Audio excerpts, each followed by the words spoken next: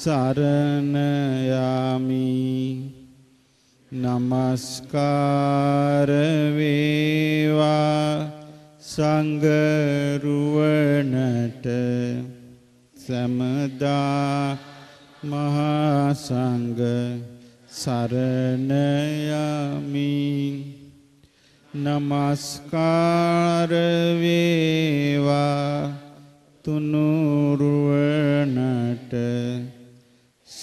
සමදාති සාරණ සාරණ යමි. සාදු. සාදු. ගරුතර මහා සංඝරත්නයන් අවසරයි. පින්වත් මෑණියන් වහන්සේ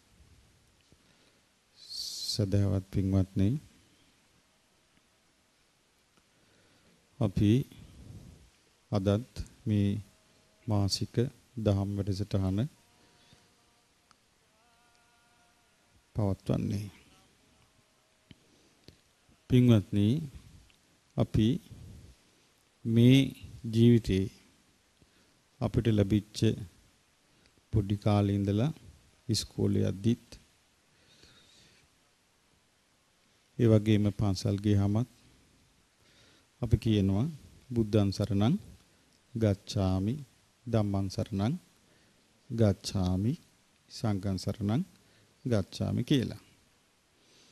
ඉතින් බුද්ධ දේශනාවේ තියෙන්නේ යේකේච බුද්ධං සරණං ගතාසේ නතේ ගමිස්සanti අපායං යම් කිසි කෙනෙක් බුදුරජාණන් වහන්සේව සරණ ගියා නම් අපායන් නැහැ කියලා.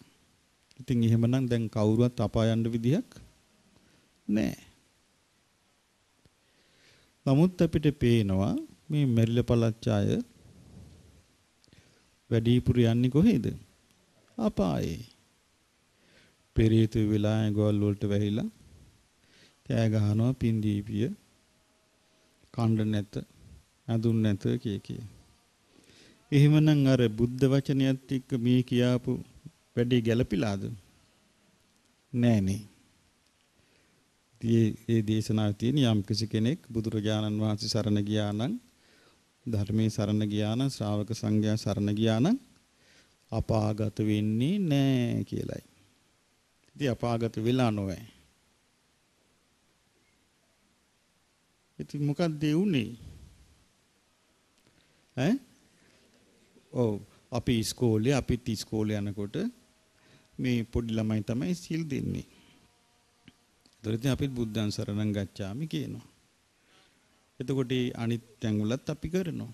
නමුත් අපේ විශ්වාස අපේ ඇදහිලි ඊට හාත්පසින් වෙනස්. අපි සරණ ගියේ බුදුරජාණන් වහන්සේ කවුද කියලා දන්නේ නැති. ඒ සරණ ගියපු ධර්මය මොකක්ද කියලා දන්නේ නැති. ඒ සරණ ගියපු ශ්‍රාවක සංඝයා මොන වගේ පිරිසක්ද කියලා දන්නේ නැති. එතකොට අපි නිකන් කටින් බුද්ධං සරණං ගච්ඡාමි කියලා කිව්වට මේ බුද්ධං සරණං ගච්ඡාමි කියන එක උච්චාරණයෙන් පිළිහිටන එකක් නෙමෙයි. සරණ කියන එක උච්චාරණය කළ පමණින් පිළිහිටන එකක් නෙමෙයි. ඒකට සම්බන්ධ වෙන්න ඕනේ තමන්ගේ හදවත. තමන්ගේ හිත. ඉතින් එහෙම සම්බන්ධ වුණේ නැති වුණාම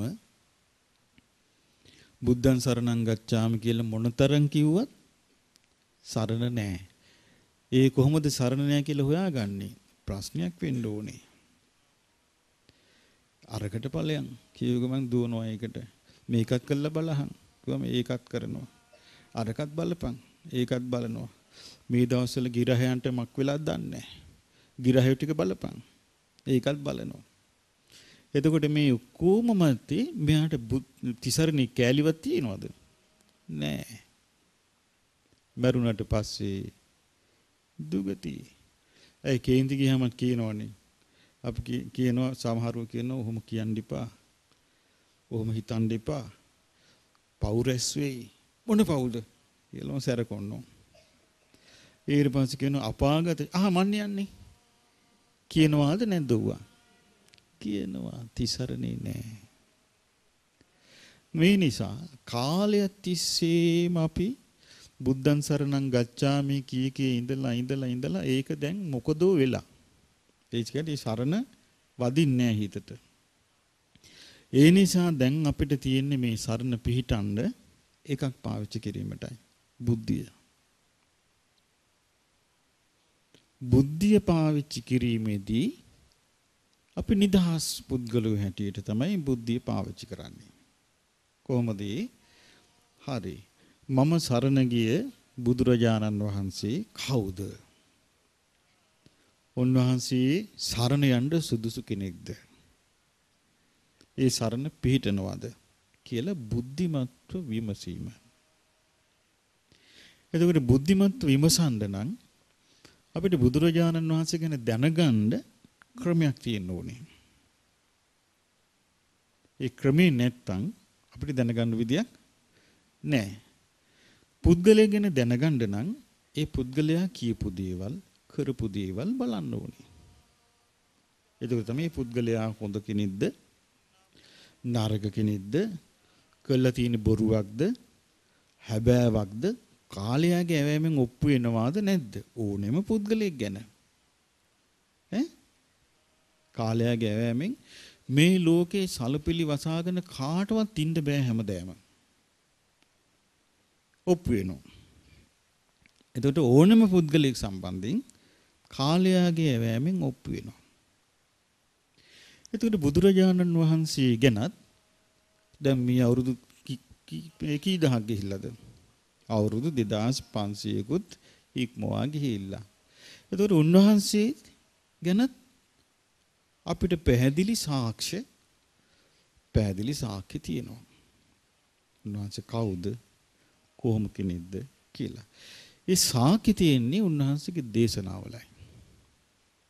ඒතර බුදුරජාණන් වහන්සේගේ දේශනා ආශ්‍රයෙන් තමයි අපිට දැනගන්න ලැබෙන්නේ උන්වහන්සේ කවුද කියලා.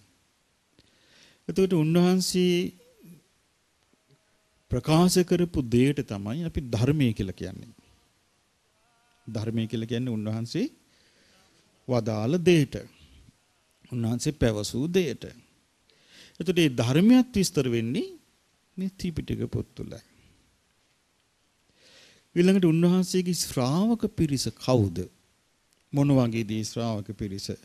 කියලා ශ්‍රාවක පිරිස ගැන විස්තර වෙන්නේ මේ බුද්ධ දේශනාවලමයි. ඒතර යම් කිසි කෙනෙකුට මේ ත්‍රිවිධ රත්නය හඳුන ගන්න ඕන නම් කවුද කියලා මේ ත්‍රිවිධ රත්නය කියන්නේ කුමක්ද? බුද්ධ රත්නේ නැත්නම් බුදුරජාණන් වහන්සේ කියන්නේ කවුද? ධර්මයේ කියන්නේ කුමක්ද? ශ්‍රාවක සංඝ පිරිස කියන්නේ කවුද කියලා දැනගන්න ඕන නම් හරි පහසුවෙන් අපිට මේ කාලේ දැනගන්න පුළුවන් බුද්ධ දේශනාවලින්. වෙන ක්‍රමයක් මේකේ නැහැ. වෙන දැනගන්න විදියක් නැහැ. මොකද හේතුව වෙන ක්‍රමයකින් අපි දැනගන්න ගියොත් ඒ ක්‍රමය සාමාන්‍යයෙන් අපේ හිතේ ස්වභාවයට ගලප ගන්න අමාරුයි. අපි මෙහෙම කියමු. අපේ හිතේ පිහිටපු දෙයක් තියෙනවා. යම් කිසි දෙයක් විශ්වාස කරගෙන යනකොට ටික කාලයක් යනට ඒකේ විශ්වාසය නැතු යන එක. අපි හිතේ තියෙන ස්වභාවයක්. ඒකට කියන්නේ සැකය කියලා. ඒක ධර්මයේ සඳහන් වෙනවා නීවරණයක් කියලා. නීවරණයක් කියන්නේ සිතේ දියුණුව වසාගෙන තියෙන එකක්. සිතේ දියුණුව වසාගෙන තියෙන එකක්. එහෙනම් ඒක අපිට විතරක් නෙමෙයි තියෙන්නේ. ලෝකේ ඕනෑම කෙනෙකුට ඒක තියෙනවා. එතකොට මේ සැකය කියන එකෙන් මිදෙන්න ලෝකේ නොඑක් උපාය කරනවා. උපාය දක්වනවා. ඒ කියන්නේ ලෝකේ උඩර වැටි උපක්‍රම කරනවා කෙනෙක් සැකයෙන් මිදෙන්න. කොහොමද කරන්නේ? අපි ගත්තොත් කෙනෙකුට කරදර වෙනවා. කරදරයකට යා කියනවා අනේ මම මෙච්චර දෙවියන්ගෙන් මේ ඉල්ලා හිටිනවා හිටිනවා. නමුත් මේ කරදර වල ඉවරයක් නැහැ නේ. එතකොට අනිත් එක්කෙනා කියනවා නෑ නෑ නෑ. දෙවියෝ ඔය කරදර ඔයාට දෙන්නේ ඔයාව ටෙස්ට් කරන්න. ඔයාගේ හිත වෙනස් වෙනවද බලන්න. දැන් මේ අර සැකයට වාජනීය වෙන හිත වංචනික ක්‍රමයට කරනවා. මේව නෑ බුද්ධ දේශනාවේ. බුද්ධ දේශනාවේ විවෘතව නිදහස්ව බලන්න පුළුවන්. විවෘතව නිදහස්ව බලද්දී අර සැක කරන හිත අපේ හිතේ ස්වභාවය තමයි සැක කරන බව. ඒ සැක කරන හිතේ සැක කරන්න හේතුපාදක වන දේවල් අපේ හිතේ නැතු යනවා. සැක කරන්න හේතු වෙන දේවල් නැතු යන්නේ විමසීමෙන්. දැන් විමසීමක් නැතුව අපි කිව්වොත් ඔන්න දැන් කෙනෙක් මේ ගෙදර ඉන්නවා. අපි ගමු ලයින් නැති ගියා. ටිකක් යහන් තමයි තියෙන්නේ වැසිකිළිය. වැසිකිළිය ගාව තියෙනවා කේල් ගහක්. මේ කේල් ගහේ අත්තක් කුලඟට පාත් වෙනවා ඉස්සෙනවා. දැන් මෙයා වැසිකිළියට යන දුර ගාවට එනවා. ආන් කවුද අඬ ගහනවා? අනේ මට නම් බෑ කියලා උන්න ආයෙ ගෙට යනවා. දැන් තාටමගෙන ඉන්නවා. ආය අම්මාන ඇයි බං මක් වුණාද? ආයෙ කියන බෑ අම්මී යන්න අර කවුද අඩ නෑ හිටපන් බලන්න ඊට පස්සේ මොකද කරන්නේ අම්මා කිව්වේ නෑ නෑ යමම් බලන්න කියලා උළුවත්තක් දැල්වගෙන එතනට ගිහිල්ලා බැලින්න මොකද්ද මේ තියෙන්නේ කේල්ලත්තක් පාත් වෙනවා ඉස්සෙනවා එතකොට අර කලින් තිබිච්ච සැකයයි බයයි හිතේ ගැස්මයි ඔක්කොම නැතුව ගිහලා ප්‍රත්‍යක්ෂ දැනුමක් එනවා මේ කේල් ගහක් නොවේ. තව එක්කෙනෙක් එනවා. ඇවිල්ලා එයත් වැසිකිලියන් ලෑස්ති වුණාට අර කේල් ගහ ඒක එල්ලත් පාත් වෙනවා ඉස්සෙනවා. ඒතර කියනවා නෑ කේල් ගත්ත කේල් ඒ අතවනනවා නොවේ. කේල් ගසක අත්තක් පාත් වෙනවා ඉස්සෙනවා. දැන් සැකේට ඉඩ තීද. සැකේට ඉඩ තිබුණේ නොවිමසනකම්. ඒකේ ස්වභාවය නොදකින්නකම්. එතකොට තමයි මේක හරියයිද වරදීද මෙහෙම වෙයිද අරම වෙයිද කියලා කල්පනා කරන්නේ. ඉතින් මේ නිසා මේ සැකයෙන් අපිට අත්මිදිලා මේ ධර්මයේ පැත්තින් අපිට හිත පහදවාගෙන ඉන්න තියෙනවා නම් ඒක තමයි සරණ පිහිටන්න උපකාර වෙන ප්‍රධාන දේ. එහෙම කල්පනා කිරීමට උපකාර වෙන දැනුමක් අපි ලබා ගත්තේ නැත්නම් අපිට සරණ පිහිටන්නේ නැතු යනවා. සරණ නොපිහිටියොත් ඊට පස්සේ අපිට මැරෙන්න වෙන්නේ අර සැක සහිත කාලක්‍රියාවක්. සැක සහිත. ඇයි කිසි කිසි යථාර්ථයක් ගැන සත්‍යයක් ගැන හිත නොපිහිටපු ජීවිතයක් තමයි පවත්වන්න වෙන්නේ. ඉතින් එහෙම කෙනෙකුට බාහිර දෙයක් ගැන කල්පනා කරන්න දෙයක් නැහැ. තමන්ගේ තියෙන දේවල් ටික එයාට එච්චරයි. ඒ නිසා මේ සැකෙන් අත්මි දෙන්න අපිට උපකාර වෙන ප්‍රධාන දෙයක් තමයි බුදුරජාණන් වහන්සේ කියන්නේ කවුද? මොන වගේ කෙනෙක්ද කියලා තේරුම් ගන්න එක. උන්වහන්සේ කෙරෙහි අපි ගොඩාක්ම මේ බුද්ධ දේශනා කියවද්දී අපි ගොඩාක්ම ණයගැති වෙන්නේ ණයගැති වෙනවා කියන එකේ තේරුම අපි ගොඩාක් බැගෑපත් වෙන්නේ එක දෙයකට. ඒ තමයි ඒ දේශනා හොඳට කල්පනා කරලා බලුවොත් පේනවා සංගවලා නැහැ. උන්වහන්සේ කිසි දෙයක් සංගවලා නැහැ. උන්වහන්සේ සංගවලා නැහැ කිව්වේ මෙහෙමයි. දැන් අපි ගමු දැන් කාලේ නම් දැන් තියෙනවා පුරාවිද්‍යාව කියලා විෂයක්. ඒකෙන් ඕනම පරණ දෙයක් තිබ්බොත් ඒවට කැනීම් කළා ඒක බලලා ඒවා මේවා මෙහෙම පරණයි පරණයි කියලා විස්තර කරනවා. දැන් බුදුරජාණන් වහන්සේ පහළ වෙච්ච කල් එහෙම විෂයක් අතීතය ගැන තිබුණේ නැහැ. කිසි දෙයක් දන්නේ නැහැ.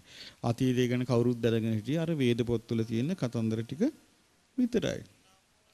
එහෙම ලෝකයක් තුල බුදුරජාන් වහන්සේට උවමනා නම් සක්විති රජවරු ගැන නොකියා ඉන්න තිබ්බද නැද්ද? මේ මිනිසුන්ට ඕනේ නැහැ මේ සක්විති ගැන කියලා නොකියා ඉන්න තිබ්බ නේද? එතකොට පසේ බුදුරු ගැන නොකියා ඉන්න තිබ්බ නේද? තිබ්බා. අතීතයේ බුදුරජාණන් වහන්සේලා හිටියා කියලා. ඒ තමන් විතරක් නම් ස්පෙෂල්. අතීතයේ බුදුවරු හිටියා කියලා කිය නොකිය ඉන්න තිබ්බ නේද? අනාගතයේ බුදු කෙනෙක් පහළ වෙනවා කියලා නොකිය ඉන්න තිබ්බ නේද? මමයි එක්කෙනා මමයි එක්කෙනා කියලා කියන්න තිබ්බනේ. ඒ කවුද දන්නේ මිනිස්සු? කවුරුවත් දන්නේ නැහනේ. එතකොට ඒ බුදුරජාණන් වහන්සේ තමයි දේශනා කළේ අතීතේ සක්විති රජවරු කියලා හිටියා රජවරු ඒගොල්ලන්ටත් මහා පුරුෂ ලක්ෂණ 32ක් තිබ්බා. ඉතින් උන්වහන්සේට කියන්න තිබුණේ නැද්ද මේ බලන්න මහා පුරුෂ ලක්ෂණ 32 මට විතරයි. මමයි වන්නේ නොල්ලි. කියන්න තිබ්බද නැද්ද? කියන්න තිබ්බනේ. එහෙම මොකුත් තියෙනවද? නෑ. එතකොට බලන්න උන්වහන්සේ එහෙනම් හැමතිස්සෙම පෙන්වන්න මහන්සි ගත්තේ මොකද්ද? ඇත්තක්. ඇත්තක් පෙන්න පෙන්වන්න මහන්සි ගත්තේ. ඒ ඇත්තක් පෙන්වන්න උන්වහන්සේ මහන්සි ගත්තේ උන්වහන්සේට බොරුවකින් ප්‍රයෝජන නැති නිසා රැවටීමකින් ප්‍රයෝජන නැති නිසා සාමාන්‍යයෙන් බොරුවකින් රැවටීමකින් ප්‍රයෝජන තියෙන්නේ මොන වගේ අයටද? ලාභ සත්කාරයට ආසායටයි. ලාභ සත්කාර කීර්ති ප්‍රශංසාවලට ආසායට නම් බොරු වලින් වංචා වලින් රැවටින් වලින් ඕනතරම් ප්‍රයෝජනෙ තියෙනවා. නමුත් උන්වහන්සේම බෝධිසත්ව කාලෙම බුද්ධත්වයට පත් වෙන්න කලින් රාත්‍රී හීනයක් දැක්කා. ඒ හීනේ එකක් තමයි උන්වහන්සේ දැකපු හීන උන්වහන්සේ පස්සේ කාලේ තීරුවා ඒක. උන්වහන්සේ හීනයක් දැක්කා. අසූචි කන්දක්, බෙටි කන්දක්. මේ අසූචි කන්දේ මේ බෙටි ගොඩේ ඇවිදිනවා. උන්වහන්සේ සක්මන් කරනවා පේනවා හීනෙන්. හැබැයි මේ ජරාව ගෑවෙන්නේ නැහැ. උන්වහන්සේ පස්සේ කාලේ කියනවා මහණෙනි මම මෙහෙම හීනයක් දැක්කා. මම මේ හීනේ තෝරගත්තා. මේ කියන්නේ ලාභ සත්කාර කීර්ති ප්‍රශංසා බිටි අසුචි මේක තැවරෙන්නේ මගේ ජීවිතයට කිව්වා. අන්න ඒවත් තැවරිච්ච ගමන් තමයි බොරු ඕනේ. ඒක පවත්වන්න. වංචාව ඕනේ. එතකොට Tamanට ලකුණු දාගන්න ඕනේ. Tamanට විතර සලකපන්. Tamanගේ ඥානෙ තමයි ඥානෙ.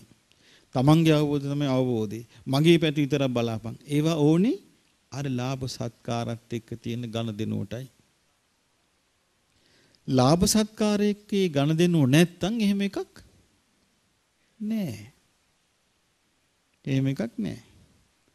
එතකොට මේ බුදුරජාණන් වහන්සේ ඒ විදියට ඉන්න ලාභ සත්කාරයට නොවැළී ඒව අසූචි හැටියට සලකලා අසූචි කොච්චර අසූචි ගැන උන්වහන්සේ ඒව කල්පනා කරාද කියනවනම් එක එක තැනක තියෙනවා මේ ඒ කාලේ නාගිත කියලා ස්වාමීන් වහන්සේ කෙනෙක් උන්වහන්සේට උපස්ථාන කළේ.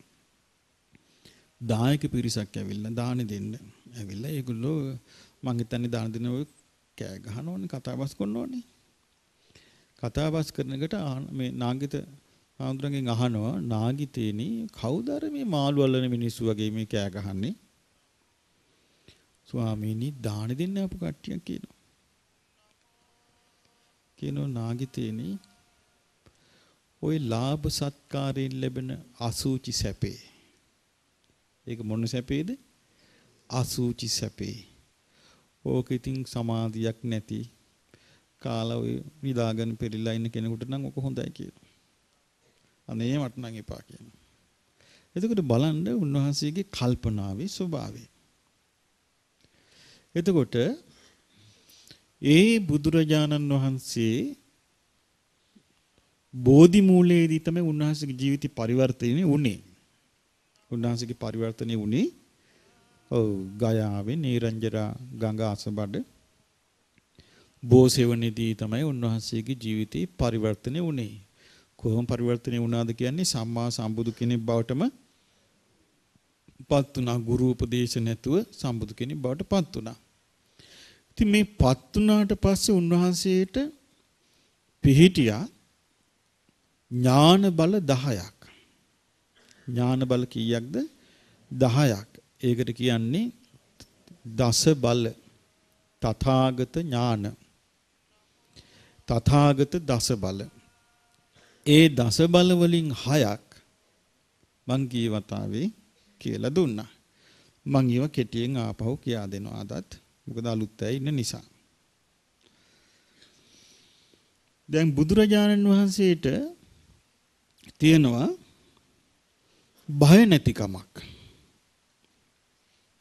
සාමාන්‍යයෙන් අපිට නම් බයක් ඇති වුණාම මොකද්ද වෙන්නේ? අපිට නම් බයක් ඇති වුණා අපි බුදුරජාණන් වහන්සේ සිහි කරනවා.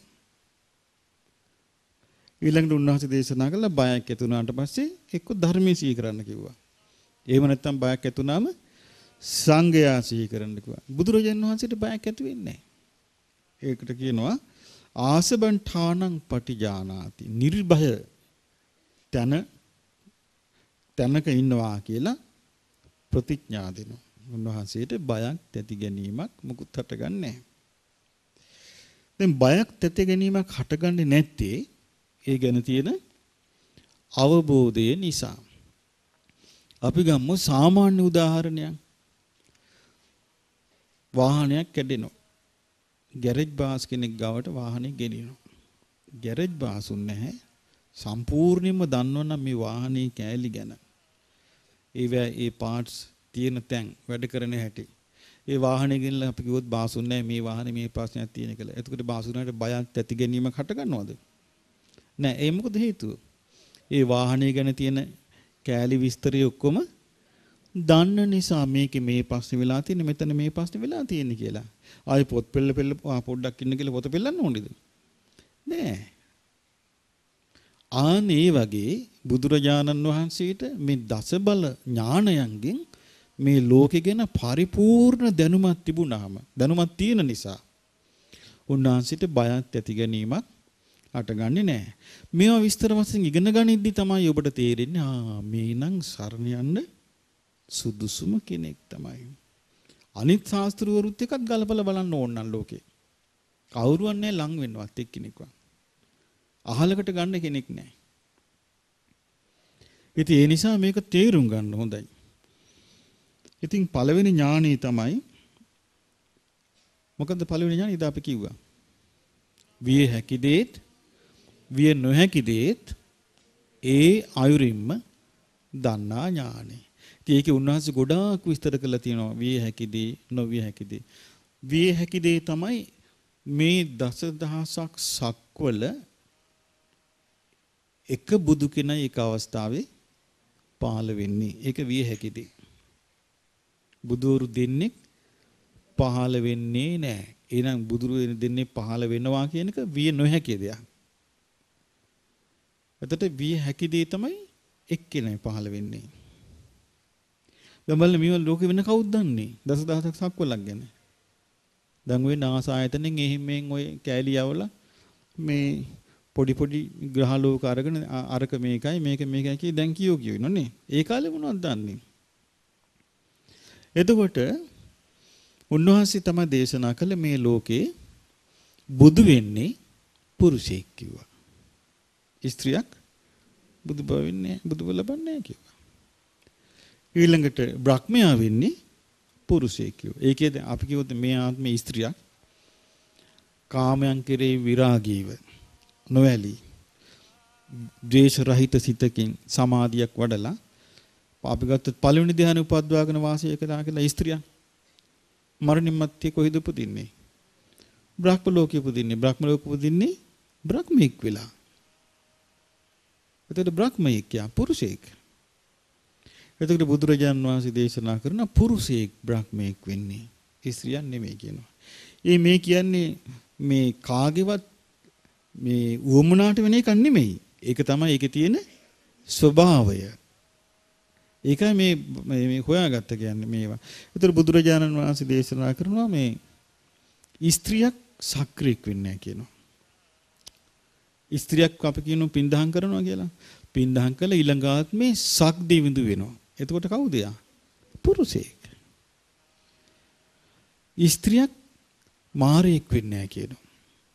මාරයාගේ අක්කන්නම් වෙන්න පුළුවනි. අර අය අර මේකේ තියෙන්නේ අර මාර තජ්ජිනේ සූත්‍රයේ තියෙන්නේ.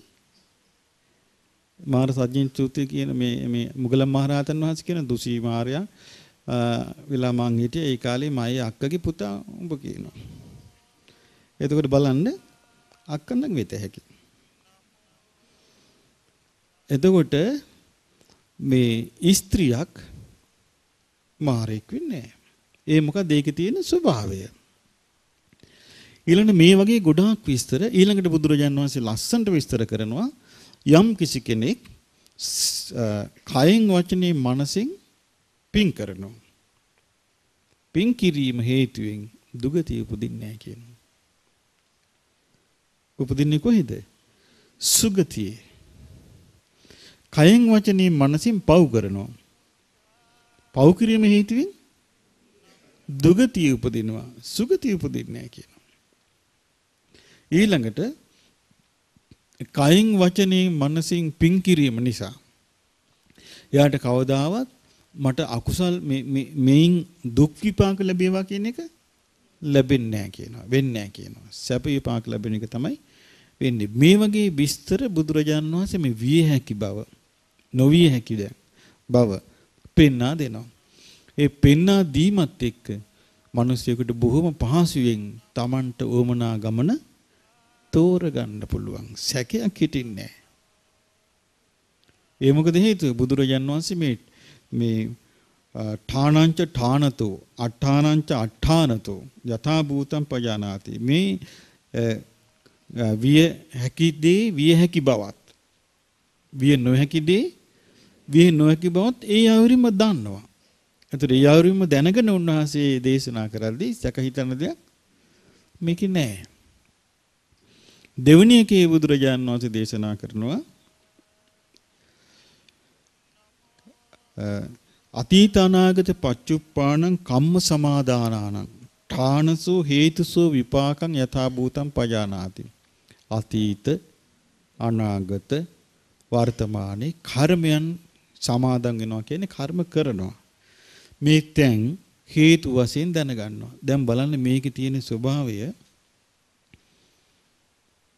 දවසක් ලක්කන මහරහතන් වහන්සේ ගිජ්ජ කූටින් පහලට වඩිනවා. වඩිනකොට දැක්ක යුදුම් ගණන් විශාල මහා පිරිත දණ්ඩෙක්. ඒ ප්‍රේතියාගේ විශාල දිවක් දිව මෙහෙම පල්ලට ඇදගෙන ඉන්නවා මොකද හේතුව කටට ගන්න බෑ දිව දිවේ පනෝ සිලි සිලි ගාලා පනෝ කනෝ දිව බැගෑ හඬින් පෙරේතයා කෑග ගහ දුවනවා. විශාල ඇඟක් තියෙන පෙරේත දණ්ඩෙක්. ඉතින් අනිත් ස්වාමීන් වහන්සේ අහනවා මේ ස්වාමීන් වහන්සේට hina යනවා දැකලා නේ මේ කර්මය යටි මේ සත්‍යයගේ කියලා. බුදුරජාණන් වහන්සේ ගාවට ගිහින් මේ කාරණේ සැලකනවා. බුදුරජාණන් වහන්සේ වදාර ඔන්න බලන කතීත මේ ඥානෙ වැඩ කරන හැටි. උන්වහන්සේ දේශනා කරනවා මේ මහණෙනි ওই භික්ෂුවක් කියනවා. ওই තමන් වපුරගත්තු දේ කියනවා. ඉතින් භික්ෂුන් වහන්සේලා කැමති වෙනවා මේ මොකද්ද මේ භික්ෂුවකට වෙච්ච විපැත්තිය. මේක අහගන්න. කාශ්‍යප බුද්ධ කාලේ කෙනෙක් ඔය කියනවා. දැන් බලන්න කොච්චර අතීතයකට මොහොතකින් යනවද? බුදුම විදියට ඒක බලන්න පුළුවන් උන්වහන්සේට. කාශ්‍යප බුද්ධ කාලේ කෙනෙක් ඔය. ඉතින් විස්තරේ කියනවා මහණෙනි කාශ්‍යප බුද්ධ කාලේ සහෝදර භික්ෂුන් වහන්සේලා දෙනමක් හිටියා. සහෝදර කියලා කියන්නේ තමන්ගේ පවුලේ නෙමෙයි. ඒකට පැවිදි වෙච්ච. එක නමක් එක වසකින් වැඩිමල්. අනික් නම එක වසකින් බාලයි. අවුරුද්දකින් බාලයි.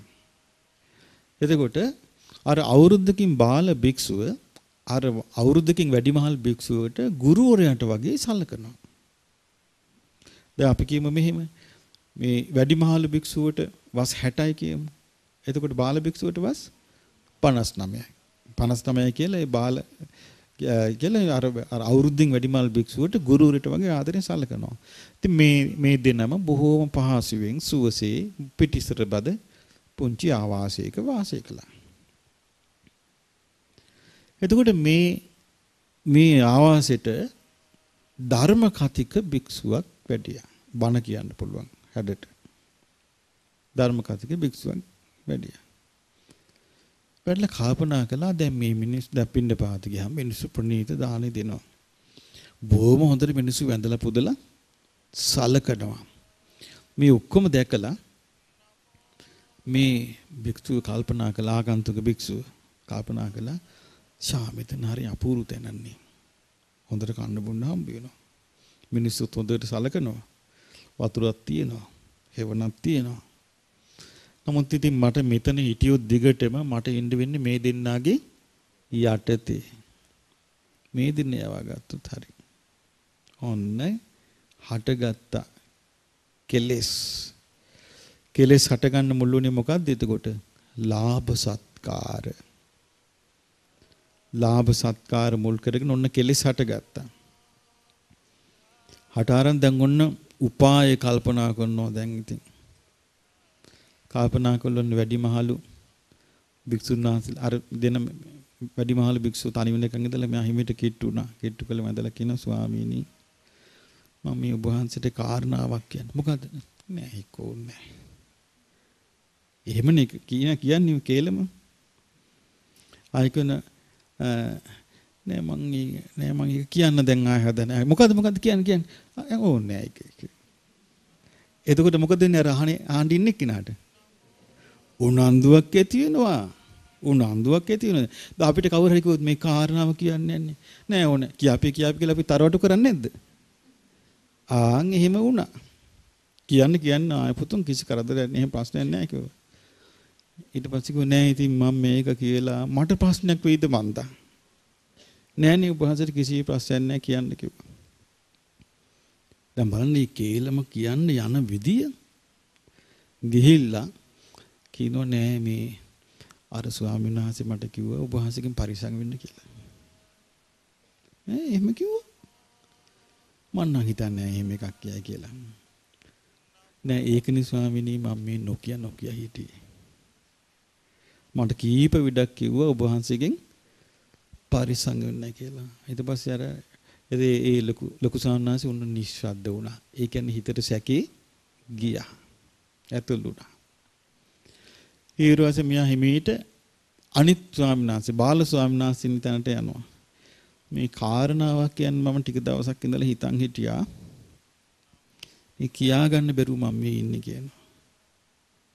ඇයි කියලා. නෑ ඒකෝ නෑ ඒක. දැන් උතට ආයෙ අරයට උනන්දුවක් ඇයි මොන කේලම් කියන කරමේ. ඔන්න උනන්දුවක් ඇති වෙනවා අරයට.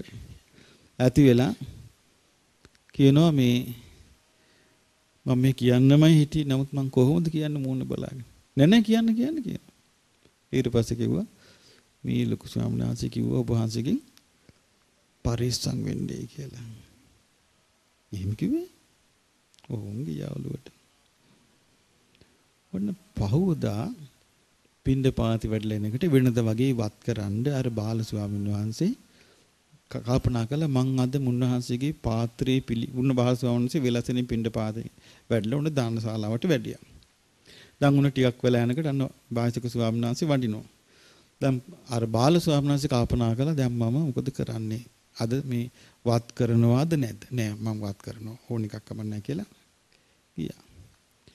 ගිහිල්ලා ස්වාමිනී පාත්‍රය දෙන්න. දෙන්න පාත්‍රේ මං දැන් දන්නවා තමුසගේ හැටි කියලා කිව්වා. මොකද්ද ස්වාමීන් මාත් එක්ක කතා කරන්න එපා. ඔන්න බිඳුණා. ඊට පස්සේ පොඩි බාල සාමණේර කිව්වා දැන් මට මේ ඔබ වහන්සේ මෙහෙම සැක කරනවා නම් මට මෙහි ඉන්න බෑ. මම යනවා මෙහෙන් යන්න කියලා පාත්‍රය ගත්තා. ගියා. උතුරු පැත්තෙන් ගියා. අනිත් ස්වාමීන් වහන්සේ බැලුවා දැන් පාළුයි. දකුණු පැත්තෙන් පිටත් වෙන. ඊට කලින් යන්න ඉස්සෙල්ලා හරිය මැදිහත් වෙනවා දැන්. ආහා ස්වාමීනි කලබල වෙන්න එපා. ඔබ හස්සල එහෙම සම්දු සරුවල් කරගන්න එපා. දැන් මේ පුද්ගලයා කියන්නේ අවුලපු එක්කිනා. සාඬු සරුවල් කරගන්න එපා. සමගියෙන් වැඩ කරන්න. හිත ඇතුලේ තියෙන්නේ මොකද්ද? ඵලයන්. දාල ඵල හිත ඇතුලේ. එතකොට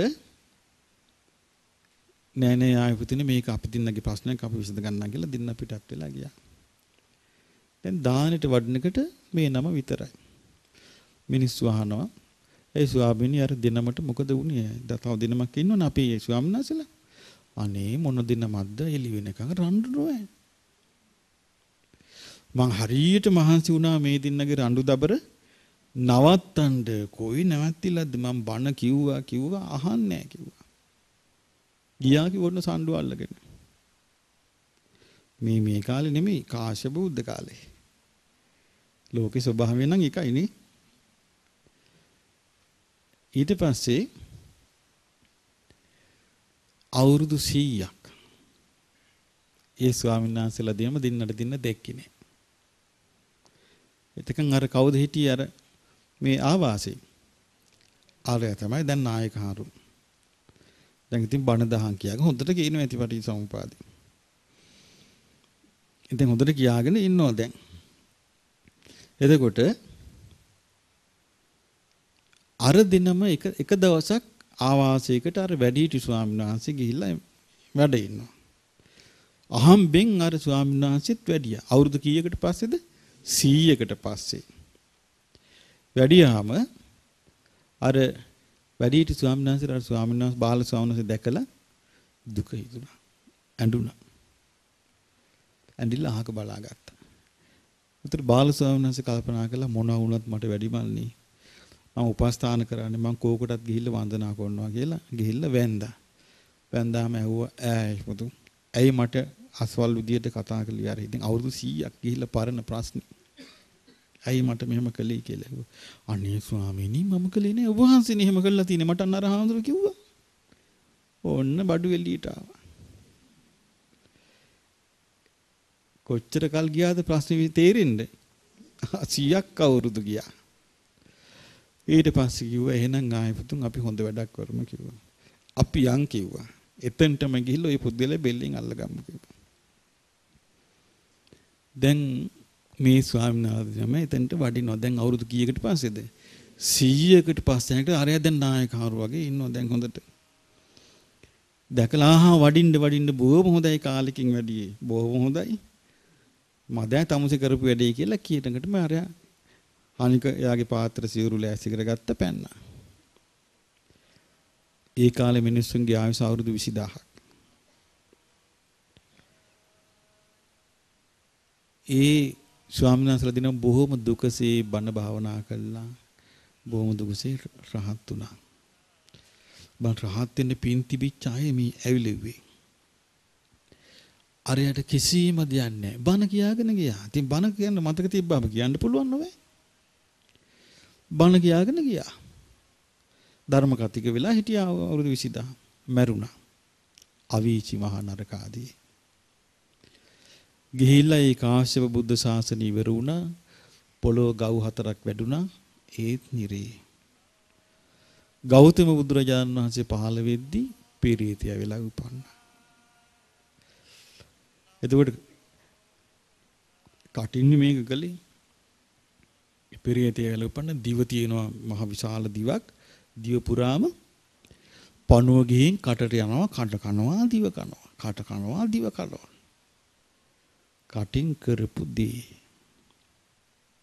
දැක්කද මේ කේලම වචනය නරක විදියට අභූත විදියට අසත්‍ය විදියට පාවිච්චි කරන අය ඒක වපුර ගන්න විදිය ආයි ලබා ගන්න හැටි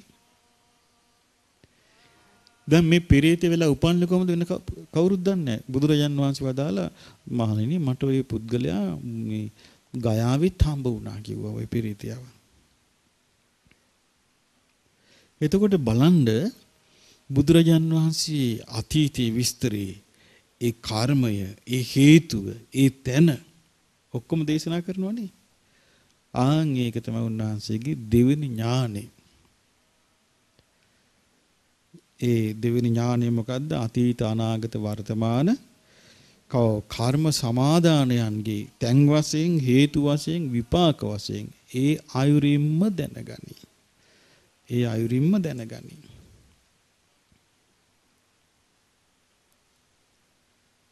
ඉතින් ඒ නිසා මේ බුදුරජාණන් වහන්සේට මේ පේනවා පුද්ගලයන් දැක්කහම මේ පුද්ගලයා මේ මේ පින කරලා ආපු අය. සමහර අය දකිනවා දැන් එක්තරා අවස්ථාවක භික්ෂුන් වහන්සේලා 500 නමක් භාවනා කරන්න ගිහිල්ලා භාවනා කරන්න මහන්සි ගන්නවා මේ ඒ වස් කාලය තුල දිනුව ලබා ගන්න බැරුව ගියා. ඊට පස්සේ ඒ භික්ෂුන් වහන්සේලා වැඩියා බුදුරජාණන් වහන්සේ ළඟට. උන්වහන්සේ බැලුවා මොකද්ද මේ පිරිස සංසාරේ පුරුදු කළේ? බැලුවාම කාශ්‍යප බුද්ධ කාලයේ මහාන වෙලා අනිත්‍ය භාවනාව කළා. නමුත් කරලා තියෙන්නේ මේ ආත්මෙ වෙනින් භාවනාව. ඒ නිසා ඒක ඒ විදිහට හරියට ගැලපිලා ගියේ නැහැ. ඒ නිසා අනිත්‍ය ප්‍රතිසංයුක්ත ධර්ම කතාව කළා මාර්ගඵල ලැබුවා. ඉතින් මේ මේක තමයි ඥානෙ. ඉතින් මේ බඳු ඥානයක් තියෙන කෙනෙකුට බයක් හට ගන්න කාරණයක් තියෙන්නේ නෑ. ඇයි මේක සම්පූර්ණ විස්තරේ निराවුල්ව, නිවැරදිව, තැන් වශයෙන්, හේතු වශයෙන්, විපාක වශයෙන් දන්නවා. ඒක තමයි දෙවෙනි තථාගත දස බල ඥාන. ඒක බුදුරජාණන් වහන්සේ පෙන්වන්නේ කොහොමද? පරිසාසු සීය නාදන් නදති. පිරිස්මෙද සිහිනද පතුරයි. සිහිනද පතුරයි කියන්නේ ඒ පිරිස්මෙද්දී කරන කතාවට අභියෝග කරන්න පුළුවන් කෙනෙක් කවුරුවත් නැහැ. බ්‍රහ්මචක්කම් පවත්‍යේති. බ්‍රහ්මචක්කය කියලා කියන්නේ චතුරාර්ය සත්‍යයට. චතුරාර්ය සත්‍ය ප්‍රවර්තනය කරනවා කියන්නේ. ධර්ම චක්‍රය.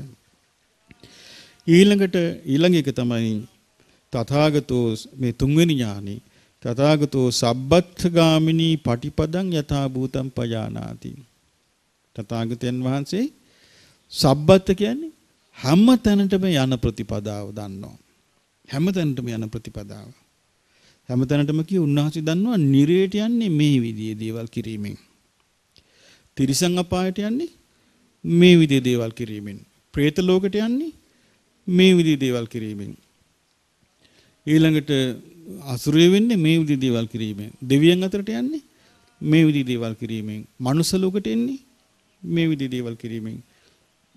බ්‍රහ්ම ලෝකෙට යන්නේ මේ විදිහේ දේවල් කිරීමෙන්. නිවන් අවබෝධ කරන්නේ මේ දේ කිරීමෙන් කියලා උන්වහන්සේ සියලු තැන්වලට යන්න තියෙන වැඩපිළිවෙල උන්වහන්සේ මේ විදිහටම දන්නවා.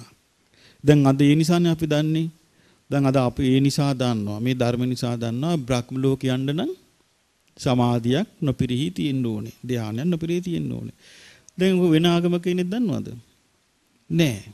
වෙන ආගමක කෙනෙක් දන්නේ කියාපන් දෙයියන්ට දෙයියෝ එක්කන් යයි. ඒකද කරමේ. නෑ. එතකොට උන්වහන්සේ දේශනා කරන දෙවියන් අතරට යන්න මෙහෙම යන්න පුළුවන්. ඒක තැනක උන්වහන්සේ දේශනා කරනවා සමහර අය ඉන්නවා දුස්සීලාය දානි දෙනවා. දුස්සීලයක් දාන්න දෙනවනේ. නමුත් සීලේ නැති නිසා මනුස්ස ලෝකෙට යාව උස්සන්න බෑ. එයාගේ කර්මෙන් දැන් මනුස්ස ලෝකෙට යන්නේ දානි දීපු අය. උපදිනවයි කියනවා ඇත්තු වෙලා. අස්පය වෙලා. සුනකය වෙලා. උපදිලා අර දීපු දී නිසා සැපසේ ඉන්නවා කියනවා. ඒ සමහර සුනකයෝ ඉන්නවා මිනිස්සුන්ට නැති සැප විඳිනවා. සලකනවා පියරු දානවා මෙට්ටේ තියාගන්නවා වාඩි කොන්නවා වඩාගෙන යනවා සුනකයා වඩාගෙන යනවා ළමයා කරත් යනවා දැකලා තියෙනවනේ ඒ පිටරට නෝන්ලා ළමයාම කරත්ති දාලා ළමයා තල්ලු කරගෙන යනවා සුනකයා වඩන් යනවා පෙර ඥාති ඒ සීලේ නෑ දානි දීලා බුද්ධ වචනේ තියෙනවා මෙව්වා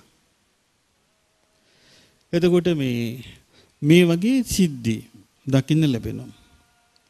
එතකොට සමහරු මේ ඒ වගේ මේ බොහොම ආදරෙන් සලකනවා තිරිසන් අපාය සතුන්ට. ඒ දීපු අය. ඒකයි.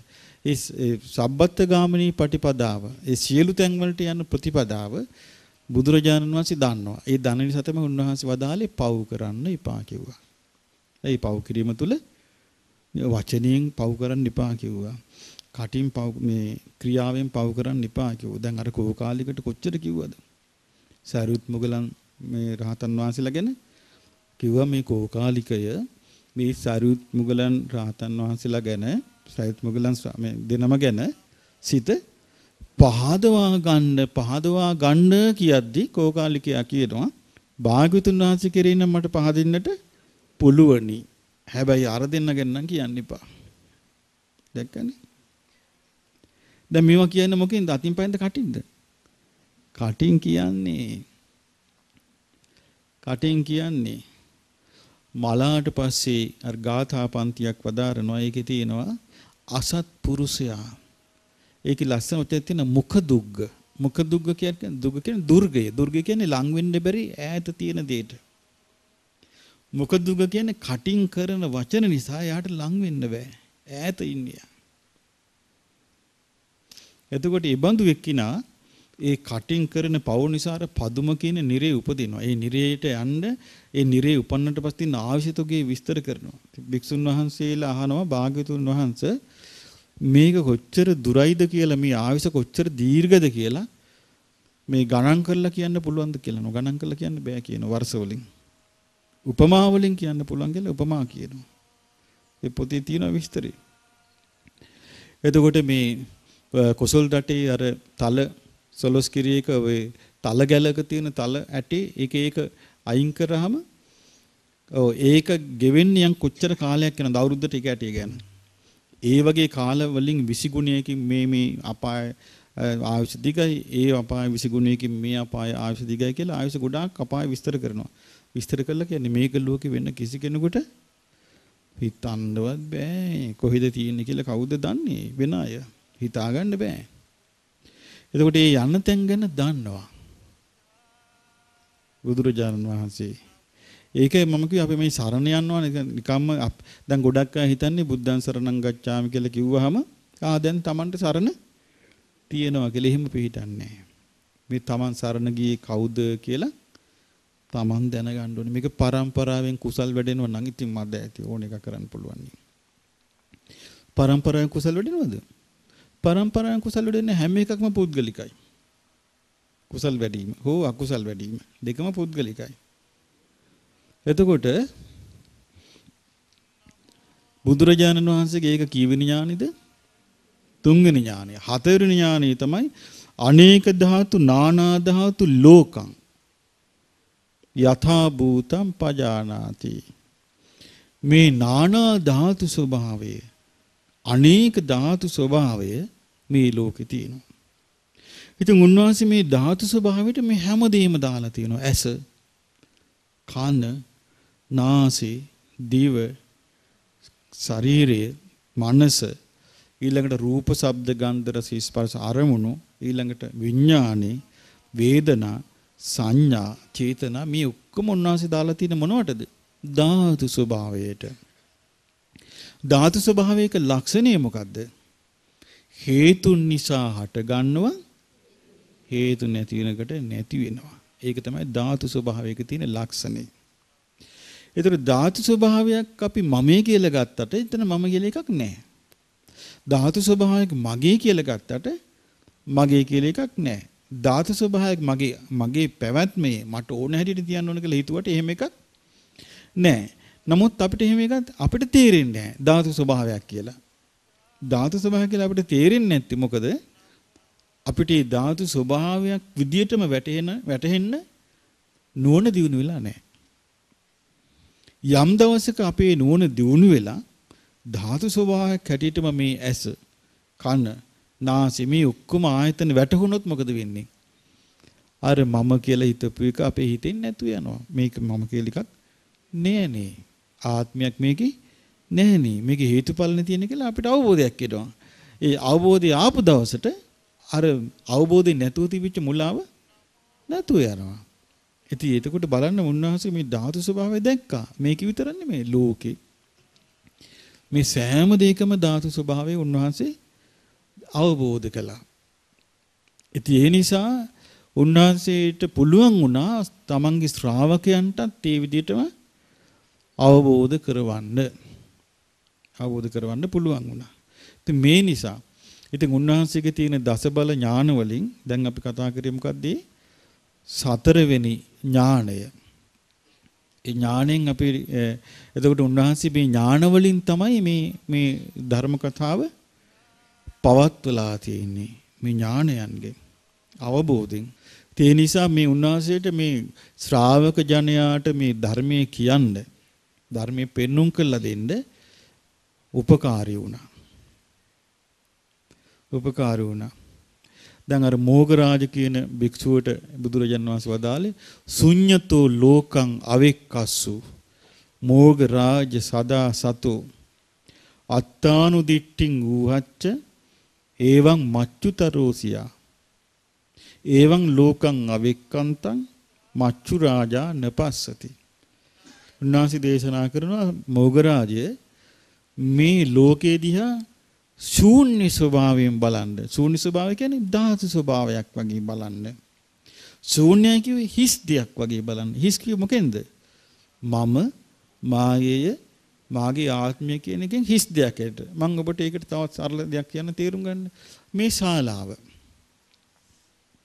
දැන් ශාලාවක් කිව්වහම ධර්මශාලාවක් කියවම සමහරට අපි කියමු අපිට හිතෙනවා කියලා මේස පුටු තියෙනවා කියලා.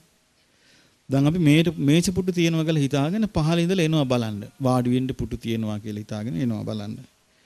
මේස තියෙනවා කියලා බලන්න එනවා. එනකොට මේ ශාලාව මේස පුටු වලින් හිස්ද නැද්ද? මේස පුටු නෑ. ඒතර මේ ශාලාවට ඇවිල්ලා කෙනෙක් බලද්දි මේස පුටු නැත්තම් බාහිර කෙනෙක් කොච්චර කිව්වත් මේකේ මේස පුටු තියෙනවා කියලා වැඩක් තියෙයිද? වැඩක් නෑනේ. ඒ වගේ මේකේ මමයේ මගේ කියලා මගේ ආත්මය කියලා අපි කොච්චර හිතන් හිටියත් මේක දැකපු එක්කෙනා දන්නවනම් මේක මෙහෙම එකක් නැහැ කියලා. අපි කොච්චර කිව්වත් ඒකේ ඒකේ වටිනාකමක් නැහැ. ඒ වගේ මෝගරාජ මේ ලෝකේ බලන්න කිව්වා ඒ විදිහට. බලද්දි කොහොමද බලන්න කිව්වේ? ශුන්‍යතු ලෝකෝ අවෙක් ලෝකං අවෙක්කස්සු මෝගරාජ සදා සතු හැමතිස්සෙම සිහියෙන් සිහියෙන් බලන්න කිව්වා. අත්තානුදිට්ඨින් ඌහච්ච. ඔව් ආත්මය කියන දෘෂ්ටි උදුරලා දාන්න කිව්වා. උදුරලා දාපු ගමන් ඒවං මච්චුතරෝ සියා මිසී ඔබ මරණයෙන් එතර වෙයි. මරණයෙන් එතර වෙන්න පුළුවන් ලෝකේ. ඒවං ලෝකං අවෙක්කන්තං මෙසේ ලොව බලද්දී මච්චු රාජා නපසති මාරයාට ඔබ නොපෙනේ. දැන් අපි ගමු සාමාන්‍ය මාරයා කියලා කෙනෙක් ඉන්නව බව ලෝකෙ වෙන කවුරුත් දන්නවද? කිසි කෙනෙක් දන්නේ බුද්ධ දේශනාවේ මේවා නොතිබෙන්න මේ ලෝකෙ කිසිම කෙනෙක් බෙහෙම දේවල් දන්නේ නැහැ. කිසිම දෙයක් දන්නේ නැහැ. එතකොට මේ අනේක ධාතු නානා ධාතු ලෝකං. අනේක ධාතු නානා ධාතු ලෝක ස්වභාවය ඒ ආකාරයෙන්ම දැක්කා. ඊළඟට බුදුරජාණන් වහන්සේ සත්තාන නානාදි මුත්තිකතං. මේ සත්වයන්ගේ නානාදි මුත්තික ස්වභාවය. ඒ ඒ සත්වයන්ගේ ඒ ඒ ආසාවන් ඒ හැඟීම් වැඩ කරන හැටි ඒ ඒ සත්වයන්ගේ බුදුරජාන් වහන්සේ දකින්නවා දවසක් කර කේසී කියලා අස්සය පුහුණු කරන එක්කෙනෙක් බුදුරජාණන් වහන්සේ ළඟට ගිහිල්ලා කියනවා භාග්‍යවතුන් වහන්සේ මේ සත්තු නම් මට හරි ලේසි කිව්වා පුහුණු කරන්න. ඒ මොකද හේතුව? සත්තුන්ගේ අඩුපාඩු ඒ සත්තු ප්‍රකට කරනවා කිව්වා. මනුසතා එහෙම නොවේ කිව්වා. මනුසතා හොයන එක හොයන්නම බෑ කිව්වා. එතකොට බුදුරජාණන් වහන්සේ වදාළ කේසී හරියට හරි කතාව. සත්තු නම් සත්තුන්ගේ ස්වභාවය ප්‍රකට කරනවා මනුසතා හැම නැtei කිව්වා. ප්‍රකට කරන්නේ නැහැ කිව්වා. ඊට පස්සේ අහන කේසි ඔබ කොහොමද මේ මේ සත්තුන්ව පුහුණු කරන්නේ? ස්වාමීනි මම පුහුණු කරනවා මුදු මොලොක් විදියට. මුදු මොලොක් විදියට පුහුණු කරාම හොඳ වර්ගයේ සතා බාලේක නෙවෙයි. හොඳ වර්ගයේ සතා මුදුමොල ක්‍රමෙන් කීකරු වෙලා පුහුණු වෙනවා කිව්වා. තව ඉන්නවා කිව්ව දඩබ්බර සත්වයෝ. ඒ සත්තුන්ව ඒ අස්පයන්ව පුහුණු කරන්නේ සැරපරුස විදියට කිව්වා. තව ඉන්නවා කිව්ව අස්පය జాතියක් පුහුණු කරන්නම බෑ කිව්වා. ඇහුව ඒ සත්තුන්ට මොකද කරන්න කියලා ඇහුවා. මරණවයි කිව්වා මං. මොකද අපේ මගේ මේ මේ මගේ මේ ආචාර්ය પરම්පරාවට නින්දාවක් මේ පුහුණු නැතු සතා ඉන්න එක. එව භාග්‍යතුන් වහන්සේ ඔබ වහන්සේත් හරි ප්‍රසිද්ධයි පුරිස ධම්ම සාරථි කියලා. ඔබ වහන්සේ ප්‍රසිද්ධයි කිව්වා එහෙම. ඔබ වහන්සේ කොහොමද පුරුදු කරන්නේ? මමත් ඔය කරෙමම තමයි කිව්වා. ඒ කොහොමද කියලා ඇහුවා. මම පුරුදු කරනවා පිරිස පුහුණු කරනවා කිව්වා බොහොම මුද්‍රු ක්‍රමයට. මොකද්ද මෘදු ක්‍රමේ? මෘදු ක්‍රමේ තමයි සීල ගැන කියනවා. සමාධිය ගැන කියනවා. ප්‍රඥාව ගැන කියනවා. දිව්‍ය ලෝක ගැන කියනවා. බ්‍රහ්ම ලෝක ගැන කියනවා. මුදු ක්‍රමේ. තව සමහරුන්ට පුරුදු කරනවා කිව්වා. ඔව් සැර ක්‍රමයට, පරුස ක්‍රමයට. ඒ මොකද්ද? නිරේ ගැන කියනවා කිව්වා. പ്രേත ලෝක ගැන කියනවා කිව්වා. අපාය ගැන තියනවා කිව්වා. ඒ ක්‍රමයට කිව්වා සමහරු দমনය වෙන්නේ. එතකොට මේ දෙකෙන්ම බැරි দমনය කරන්න බැරි අය මොකද කරන්න කියලා කිව්වා. උන්දලා මරනවා කිව්වා මම. හා තථාගතයන් වහන්සේට සතුම් මෙරීම හොඳද කියලා ඇහුවා. කිව්වා නෑ කේසි මම කරන්නේ අවවාද නොකොට අතහරිනවා කිව්වා. අතහරිනවා කිව්ව පුද්ගලයාව. ඒක මේ ශාසනයේ මැරුම් කෑවා වගේ වැඩක් කිව්වා. අවවාදනකට අතහරින්න. ආ දැන් හිතන්න ඔබ මේ කාලේ මිනිසයාට ගැලපෙන්නේ මුදු කරමෙද පරුස කරමෙද මරණ එකද? ඈ ආතාර නොකිය ආතාරින එක නෙමෙයි. මේ කාලේ ගැලපෙන්නේ මුදු කරෙමෙත් නෙමෙයි. පරුස ක්‍රමේ. මෙන්න මෙහෙමයි පෙරේතයෝ ඉන්නේ. හා එහෙමද? ඔන්න ඔළුවට ගියා. මෙහෙමයි යමුනොස්සියෝ ඉන්නේ. හා එහෙමද? දිව්‍ය ලෝකේ මෙහෙමයි. හා දිව්‍ය ලෝකෙත් යන්න පුළුවන් ඈ. ඒ කියන්නේ ඔළුවට. මේ කාලේ මනසින් ඔළුවට යන්නේ මොන විස්තරද? යකුන් ගැන, පෙරේතයෝ ගැන, භූතයෝ ගැන රස කොර කොර අහනවා. එතකොට දැන් බලන්න එතකොට මේ කාලේ තියෙන මිනිස්සුන්ට මොන ගතිගුණද? පරුස ක්‍රමයට හික්මෙන ගතිගුණ. ඇයි එහෙම අහනකට අපි හරි භයානකයි මේ සසර හරි භයානකයි. මිහිඳු මහරහතන් වහන්සේත් ඒක තමයි ලංකාවට වඩලා කළේ.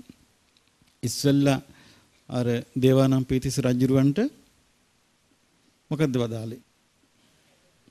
ඈ සුළු ඇත්පිය උවමාවෙන් දෙසුම. මොකද්ද? චුල්ලහත්ති පදූපම සූත්‍රය. ඊට පස්සේ ආරාධනා කළා ගෙන්නුවා මේ වැඩමුවා. මේ වැඩමුවට පස්සේ ඇත්තල සුද්ධ කළා.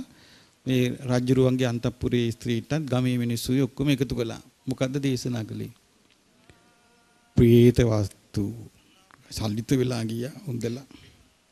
ඊට පස්සේ විමාන වත්තු ආසාව කළා. ඊට පස්සේ අනමතග්ග සංවිත්තී ওই විදිහට උඹලා කෙලවරක් නැතුව මෙරි මෙරි අපාගත වෙවි දිව්‍ය ලෝකෙ ගොහින් ගොහින් ආය අපාය ගොහින් ගොහින් කෙලවරක් නැතුව කඳුළු සාගරවල පීන පීන නුඹලා ආවේ කියලා කිව්වා.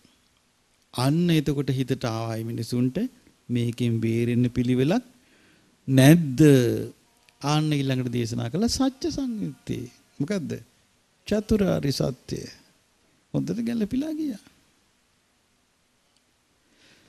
ඒ සත්වයන්ගේ නානාදි මුත්තික ස්වභාවය. ඉතින් බුදුරජාණන් වහන්සේ තමයි මේ සත්වයන්ගේ නානාදි මුත්තික ස්වභාවය දන්නේ. ඒ දැකලා තමයි උන්වහන්සේ ඒ සත්වයන්ට ඒ ආකාරයෙන් ධර්ම දේශනා කරන මේ කාලයක් යනකොට මේ එකම විදිහේ දේ මේ සත්වයාට සිද්ධ වෙනවා. එකම විදිහේ දේ සිද්ධ වෙනවා. එක තැනක තියෙනවා මේ ධම්මපදයේ තියෙනවා භික්ෂුන් වහන්සේලා 500 නමක් පැවිදි වෙලා භාවනා කරන්න මහන්සි ගන්නවා. එක නමක් භාවනා කරන්න මහන්සි ගත්තේ නැහැ. භාවනා කරන්න මහන්සි ගන්න නැතුව ඒ නම මේ ඔහේ හිටියා ඔහේ හිටියා. දැන් එතකොට කී නමක් රහත් වුණාද? 499 නමක්. දැන් මේ පිරිස බුදුරජාන් වහන්සේ ගාවට මේ තමන්ගේ චිත්ත දියුණු මේ කියන්න වඩිනවා. වඩනකට අතරමඟ ගමකටත් සේන්දු වුණා. ගමේ දායකයෙක් ඇහුවා දැන් ඔබ වහන්සේලා ආපහු වඩින්නේ කවද ස්වාමීන් වහන්සේ මෙහෙම උපාසකවරුනි අපි මෙහෙම බුදුරජාන් වහන්සේ හම්බ වෙලා අපි ඊට ආයේ පාන්දරේ පිටත් වෙනවා කිව්වා. අනේ ස්වාමීනි දවල් දාන්නට මෙහෙට වඩින්න පුළුවන්ද කියලා. හාය කිව්වා. එතකොට මේ මිනිස්සු කිව්වා එහෙනම් අපි 509කට දානේ හදන්නම්. සවැත් නුවරට වැඩියා. වැඩලා මේ දානෙට ලෑස්ති කළා. ලෑස්ති වුණාට පස්සේ අර නේ ගිහිලා ඒ භික්ෂුන් වහන්සේලා තමන්ගේ රහත් බව ප්‍රකාශ කළා. අර භික්ෂුව මුල්ලකට වෙලා හිටිය ආගෙන අනේ මට බැරි වුණානේ මොකක් කරගන්න. කියලා දැන් උන්න හදිසි වෙලා දැන් හෙට උදේ ගමනකුත් යන්න. හොද රෑ ඉඳලා උණ දැන් සක්මන් කරනවා වාඩි වෙනවා සක්මන් කරද්දි සක්මන් කරද්දි නිදිමතේ වැටිලා ගලප්පල්ලි වැටිලා කකුල ගැඩුණා. එතකොට කකුල ගැටුණාන් පස්සේ අයියෙන් කෑ ගැහුවා. ඉතින් අනිත් ස්වාමීන් වහන්සේලා ඔක්කොම ඇවිල්ලා දැන් මේ ස්වාමීන් වහන්සේට සාත්තු කරනවා. ප්‍රතිකාර කරනවා. ප්‍රතිකාර කරද්දී හොඳටම එළී වැටුණා. ඉතින් බුදුරජාණන් වහන්සේට වන්දනා කරාම ඇහුවා ස්වාමිනී භාග්‍යතුන් වහන්සේ මේ අපිට යන්න බැරි වුණා ගමන කිව්වා. ඒ මොකද කියලා බැරි වුණේ. අපිට අසවල් භික්ෂුව නිසා මේක කරන්න බැරි වුණා කිව්වා. ඊටසේ භික්ෂුව එහෙම තමයි මීට කලින් ආත්මෙත් මෙහෙම කළා කිව්වා. එතකොට එකම දේ එක එක ආත්මෙට ඉහරටම. බුද්ධ කාලේ ඒ වගේ තව එකක් වුණා මේ මේ සත්වගේ නානාද වයසට පල්ලච්ච පස් දෙනෙක් පිරිමි අය දැන් බණ අහන්න යනවා. අහලා පැහැදුනා. බුදුරජාණන් වහන්සේගේ ධර්මය ගැන පැහැදිලා කල්පනා කරා අනේ අපි දැන් මේ වයසක උදවිය. අපි මේ ගෙවල් වලට ඉන්න එකේ තේරුමක් නැහැ. මේ මගුල් ගෙවල් වලයි ඉලව් ගෙවල් වල යනවා විතරයි. ඉතින් මීට හොඳයි අපි මහානදම් පුරනවා නම් කියලා ගෙවල් වලින් අවසර ගත්තා. අවසර අරන් පස් දිනාම මහාන වුණා. දැන් මේ යාළුවෝ පස් දෙනා. දැන් මේ වයසක පස් දෙනා මේ වයස දැන් වයසක හාමුදුරුවෝ දැන් මේ පස් දෙනාම යන්නේ එකට පින්ඩ පාත යන්නේ. බණ අහන්න යන්නේ ඒකට. නාන්න යන්නේ තචිරවතී ගඟට ඒකට දැන් මෙයා මේගොල්ලොත් ඈතට වෙන්නේ වෙනම කුටි පහක් හදාගත්ත ළඟ ලංකොල්ලා. ඒකට. දැන් මේකට ඉන්නවා. ඒකට ඉඳනවා ඒකට කතා කර කර ඒකට බුලත් හපේ ගගහ ඉන්නවා දැන්. එතකොට දැන් දානෙට යන්නේ මේගොල්ලෝ දරුවන්ගේ ගෙවල් වල මුණුබුරන්ගේ ගෙවල් වල. මේ එක බිරින්දෑවක් ඉන්නවා රසට උයන්න පුළුවන්. රසට උයන නිසා ඈට නම ලැබුණා මధుර පාචිකා කියලා. මధుර පාචිකා රසට උයනවා. දැන් මේගොල්ලෝ පින්ඩ පාති කරගෙන යන්නේ අර ගෙදරට. කාගේ ගෙදරටද? මధుර පාචිකාගේ ගෙදරට. එහෙත් මොනවා හරි ව්‍යංජනයක් දැන් රහාට හදලා තියෙනවා.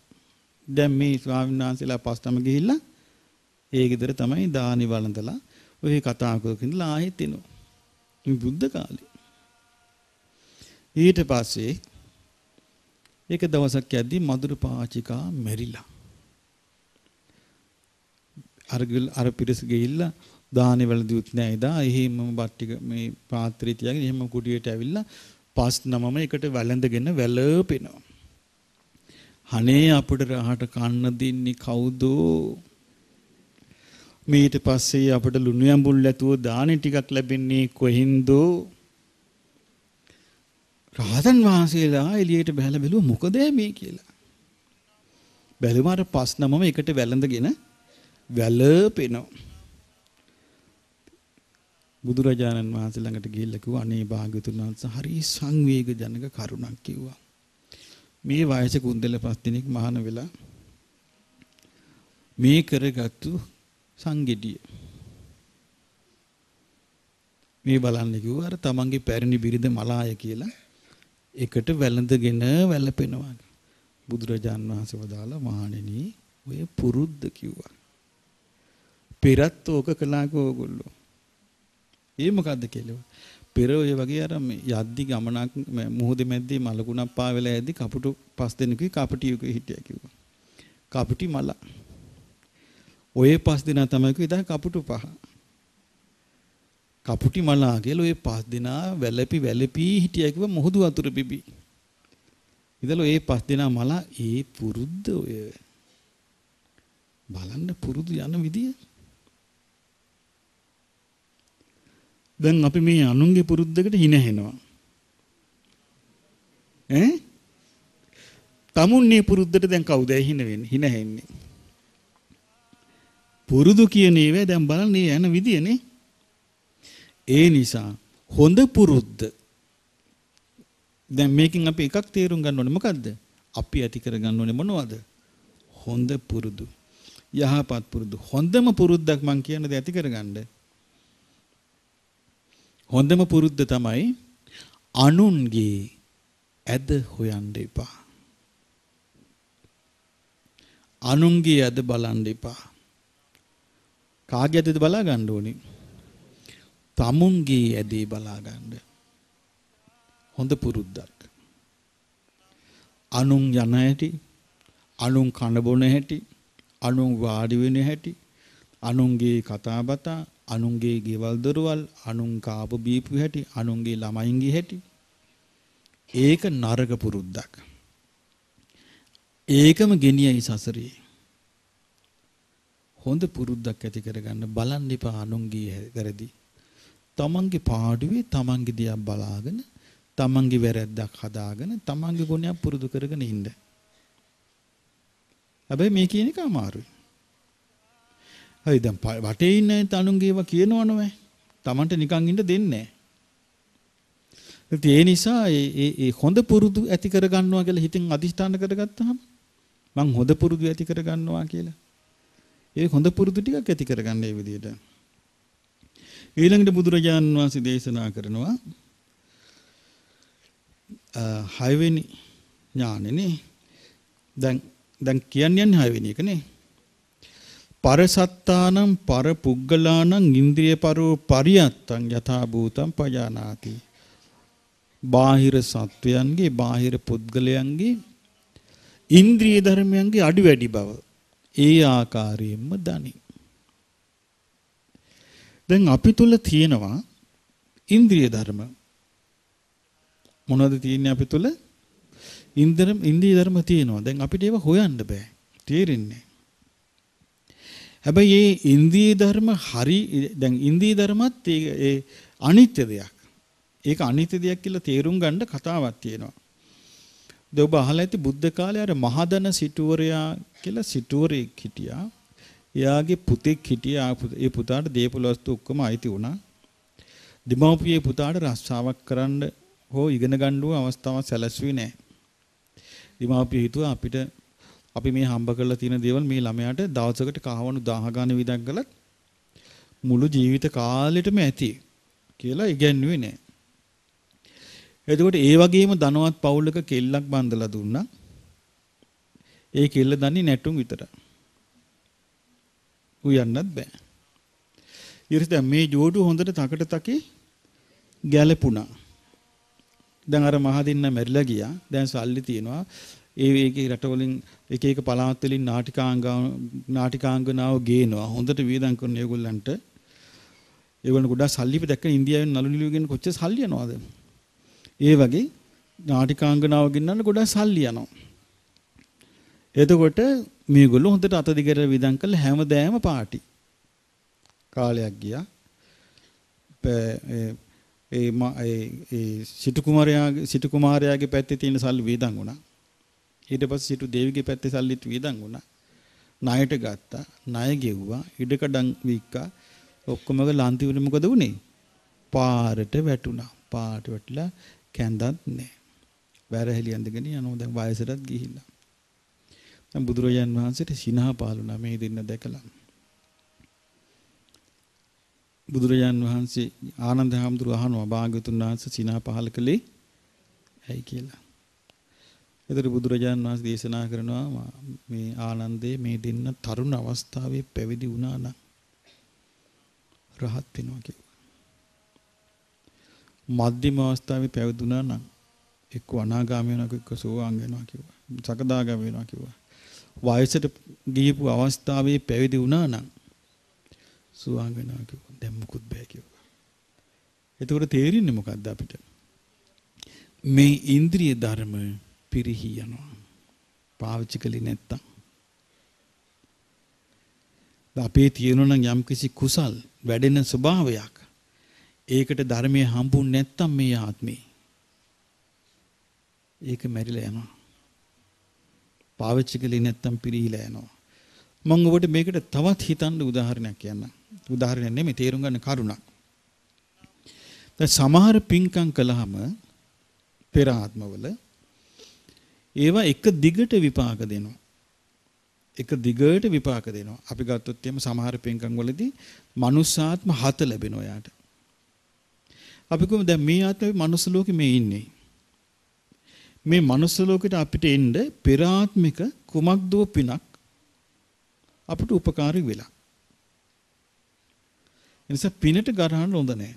කුමක්දෝ පිනක් උපකාරී වෙලා තමයි මේ ආත්මේ අපි මේ මනුස්ස ලෝකෙට ඇවිල්ලා ඉන්නේ. මොකද සමහරු කියනවා අපිට පින් කරන්න ඕනේ කුසල් කරාම ඇති කියලා.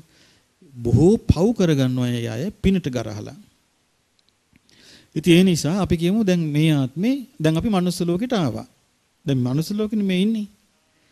අපි කියමු මේ විදිහට මනුස්ස ලෝකේ අපි කලිනුත් ඇවිත් ඉන්නවා කියමු. මේ කලින් ආත්මේ කරපු පිනකින් පළවෙනි ආත්මෙත් පින් මනුස්ස ලෝකයේ දෙවෙනි ආත්මෙ මනුස්ස ලෝකයේ තුන්වෙනි ආත්මෙ මනුස්ස ලෝකයේ හතරවෙනි ආත්මෙ මනුස්ස ලෝකයේ පස්වෙනි ආත්මෙ මනුස්ස ලෝකයේ මේ හයවෙනි ආත්මෙ මනුස්ස ලෝකයේ මේ හත්වෙනි අන්තිම ආත්මෙ කියපු මනුස්ස ලෝකේ විපාක දෙන. එතන මේ ආත්මෙදී මේ මනුස්ස ලෝකේ විපාක විඳින්න තියෙන කර්ම ඉවර වෙනවා නම් මේ ආත්මෙන් පස්සේ විපාක ආයි මනුස්ස ලෝක විපාක දෙන්න කර්ම නැත්තම් පුණ්‍ය විපාක එතකොට යන්න වෙන්නේ කොහෙද? සතර අපායි. එතකොට මනුස්ස ලෝකේ විපාක දෙන්න කර්ම නැති පුද්ගලයෙක්. මනුස්ස ලෝකේ පිනුත් රැස් කරන්නේ නැතුව පව් රැස් කරගෙන ජීවත් වෙලා මරණින් මත්තේ අපාගත වෙනවා කියමු. ආයේ මිනිසෙක් වෙන්නේ කවද්ද? ඒ අපායේ උපන්නට පස්සේ මනුස්ස ලෝකේ උපද්දවන්න පුළුවන් පිනක් උපදවීමේ ශක්තියක් ඒ අපාගත සතෙකුට නැහැ. දැන් හොඳට කල්පනා කරන්න මේ කියපු කාරණේ. දැන් මේ මනුස්ස ලෝකයේ උපන්න පින අවසන් කරලානේ ගොඩක් අය මැරෙන්නේ. අලුතින් පින් කරගන්න නැතුව. එතකොට දැන් එයාට මේ තියෙන මනුස්ස ලෝකේ තියෙන පින් ටික ඔක්කොම ඉවර වෙනවා මේ ආත්මෙන්. ආයේ මනුස්ස ලෝකෙ උපදින්න පින් නැහැ. දැන් එයා උපදිනවා එක්ක පෙරේතෙක් වෙලා. එක්ක සතෙක් වෙලා. එක්කෝ අසුර ලෝකේ එක්කෝ නිරේ. දැන් එයාට පින් කරගන්න අවස්ථාව මුකුත් නැහැ. දැන් එතකොට එයාට ආය මනුස්ස ලෝකික උපදින්න අවස්ථාවක් සැලසෙයිද?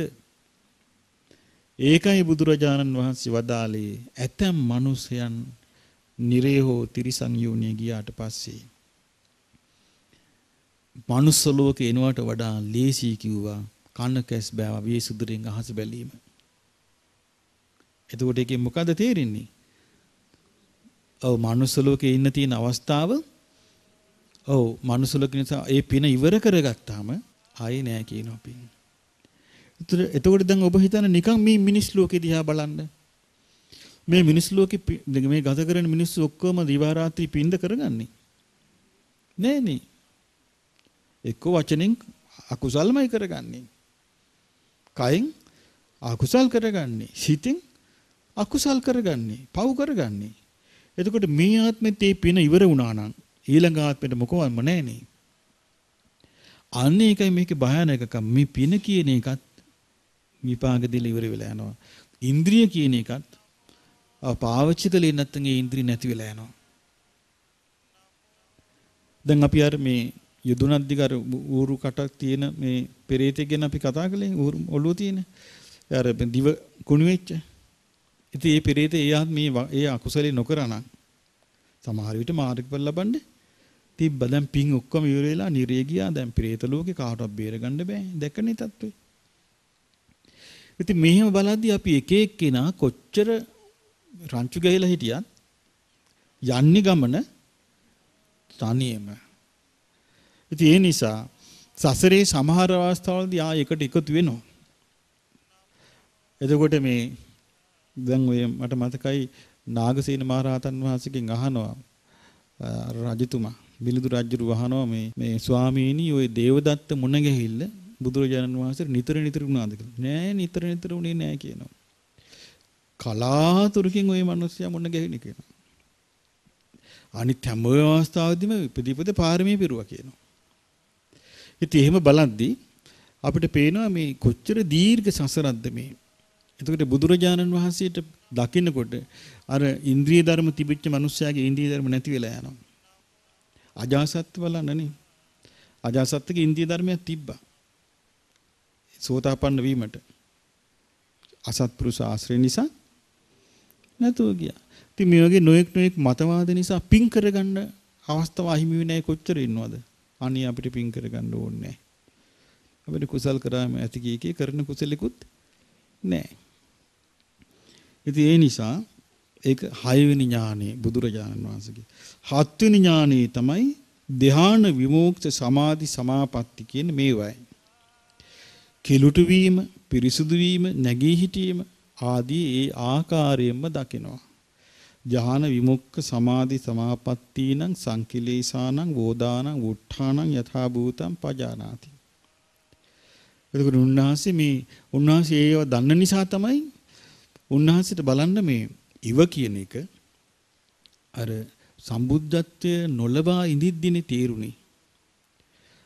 කවුද ආලාර කාලාම පුත්‍ර, බුද්ධකරාම පුත්‍ර මේ දෙන්න එක්කෙනෙක් කිව්වේ ආකාසාන ආකින්චඤ්ඤායතන. අනිත් එක්කෙනා නේව සංඥා නා සංඥායතන මේක අල්ලලා හරියන්නේ නැහැ. මේක ඇල්ලුත් උපදිනවා. කවුද කියා දෙන්න හිටියේ? බුදු වෙලත් නැතුව. මේක තේරුණානේ? ඒ සමාධියෙන් යන්න පුළුවන් දුර සමාපත්තියක් යන්න පුළුවන් දුර ඊළඟට ඒ සමාධියෙන් මොකද්ද කරන්න පුළුවන් මේ සියල්ලම උන්වහන්සේ ආબોධින්ම දන්නවා. ඉතින් ඒ නිසා මේ උන්වහන්සේ ඒ විතර නෙමෙයි දැන් බලන්න අර එක තැනක තියෙනවා අර අර නාගරාජයා මේ හිමාලයේ හිටපු මේ හිමාලයේ අනුහදත්ත විලේ හිටපු නාගරාජයාව দমনය කරන්න.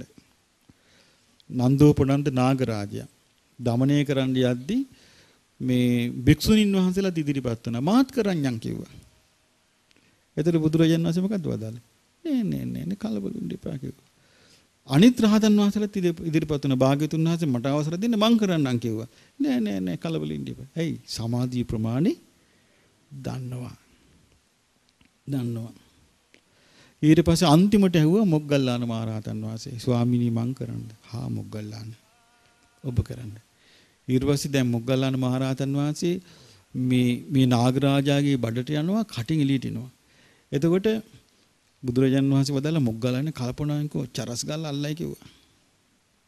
ඒකෙන් එච්චර ක්ෂණිකව මේ ධාන බලෙන් එළියට යන්න පුළුවන් ඇතුළට එන්න පුළුවන්. ඒක වෙන කෙනෙකුට අදිෂ්ඨාන කරන ඒ තප්පර කාලෙන් අනිත් එක්කෙනා ජය ගන්න පුළුවන්. ඒතර ඒක දන්නේ කවුද? බුදුරජාණන් වහන්සේ. උන්වහන්සේ තමයි එහෙම වඩද්දිත් ඒ කියන්නේ ඒ නාගරාජ দমনයේ කිරෙද්දී මොග්ගල්ලාන මහරහතන් වහන්සේට කියනවා මොග්ගල්ලාණිය මේ විදිහට මේ විදිහට සමාධිය අධිෂ්ඨාන කරගන්න කියනවා. බලන්න මේ සමාධිය ගැන තියෙන දැනුම ලෝකෙ කවුරුවත් නැහැ. උන්වහන්සේ තරම් ධාන විමෝක්ෂ සමාධි සමාපatti ගැන දන්න කෙනෙක් මේ ලෝකෙ වෙන නැහැ. ඒක තමයි උන්වහන්සේගේ හත්වෙනි ඥානෙ. උන්වහන්සේගේ අටවෙනි ඥානෙ තමයි පෙරවිසු කඳපිලිවෙල දක්නා ඥානෙ. පෙරවිසු කඳපිලිවෙල දකින ඥානෙ. තුන් උන්වහන්සේ ඒ පූර්ව ජීවිත ගත කරන ආකාරය ගැන කල්ප ගණන් උන්වහන්සේ ආපස්සට බලන්නේ. කල්ප ගණන්. කල්ප ගණන් උන්වහන්සේ දකිනවා මේ හිටපු ඇටි එක්තරා අවස්ථාවක බුදුරජාණන් වහන්සේ ගමනක් වඩිනවා. බ්‍රාහ්මණ වංශික 100 කෙනෙක් බුදුරජාණන් වහන්සේ ළඟට දුවගෙන ආවා. වයසක 100 කෙනෙක්. අවිල්ලා නලල රැලි කළා අත ඇහිබඹ උඩින් තිබ්බා. අර අවුව තියෙනවල බලන්නේ. ආන් ඒ විදිහ බලලා ඈ මේ අපේ පුතා නොවේ. කියලා අර බ්‍රාහ්මණයා බුදුරජාණන් වහන්සේගේ දීපා වැළඳගෙන අනේ පුතණ්ඩ මොකද මෙච්චර කල් හිටියේ කොහෙද හිටියේ ඇයි අපිට නොකියා ගියේ මේ දැන් දැක්ක කල් ඇයි අපේ ගෙදර එන්නේ නැතිහා යමන් කියලා දැන් බුදුරජාන් වහන්සේට අඬ ගහනවා. උන්වහන්සේත් පාඩුවේ ඒ ගෙදරට වඩිනවා. වඩිනකොට ආච්චි කුසියේ මේ සී ආච්චිට කියනවා ආච්චිට කියන හාමිනේ මෙහෙම අර ඉක්මන්ට මේ ආ මේ බලාපන් අපේ පුතා ඇවිල්ලා කියලා. ඉතින් ඔන්න හාමිනේ ඇවිල්ලා අර ආච්චි ඇවිල්ලා ඔලුවට අද්දික ගහගෙන ඔන්න අඬන්න ගත්තා. අනේ දැක්ක කල් මොකද මේ කොලේ මෙච්චර කල් මේ අම්මලා තාත්තලා දාලා ඔහොම දරුවෝ යන එක සිරිතක් තියෙනවා අය කී කී දැන් ඔන්න බොහෝ මේ නෝකඩු කියනවා. බුදුරජාණන් වහන්සේ නිස්සද්දව ඉන්නවා. ඊට පස්සේ මේ වයසක සීය ආච්චි කියනවා හැබැයි පුතේ වෙන ගෙවල් වල පින්ඩ පහත යන්න බෑ ඕන්න කිව්වා. මේ වස් කාලික ගිහිල්ලා මේ උන්වහන්සේක ගමකට අපේ ගෙදරට විතරක් පින්ඩ පහතේ වඩින්න ඕනේ. හොඳයි කිව්වා. දැන් බුදුරජාණන් වහන්සේ ඒ ගෙදරට පින්ඩ පහතේ වඩන එකට හැමෝටම කියලා නෑදෑයන්ට කියන වරිල්ලා අපේ පුතා ඇවිල්ලා බලන්න වරිල්ලා කිය කි. දැන් මිනිසුන්ට හිතා ගන්න බෑ මේ මොකද්ද කියලා. ඊට තමන්ගේ දරුවෝ මුණුපුරගෙනලා වන්දුනවා වැඳහන් වැඳහන් මේ අපේ පුතා කියනවා. ඊට පස්සේ මිනිස්සු කතා වුණා අනේ ස්වාමීන් අපිට දාන ටිකක් දී ගන්න විදියක් නැහැ මොකද කරන්නේ?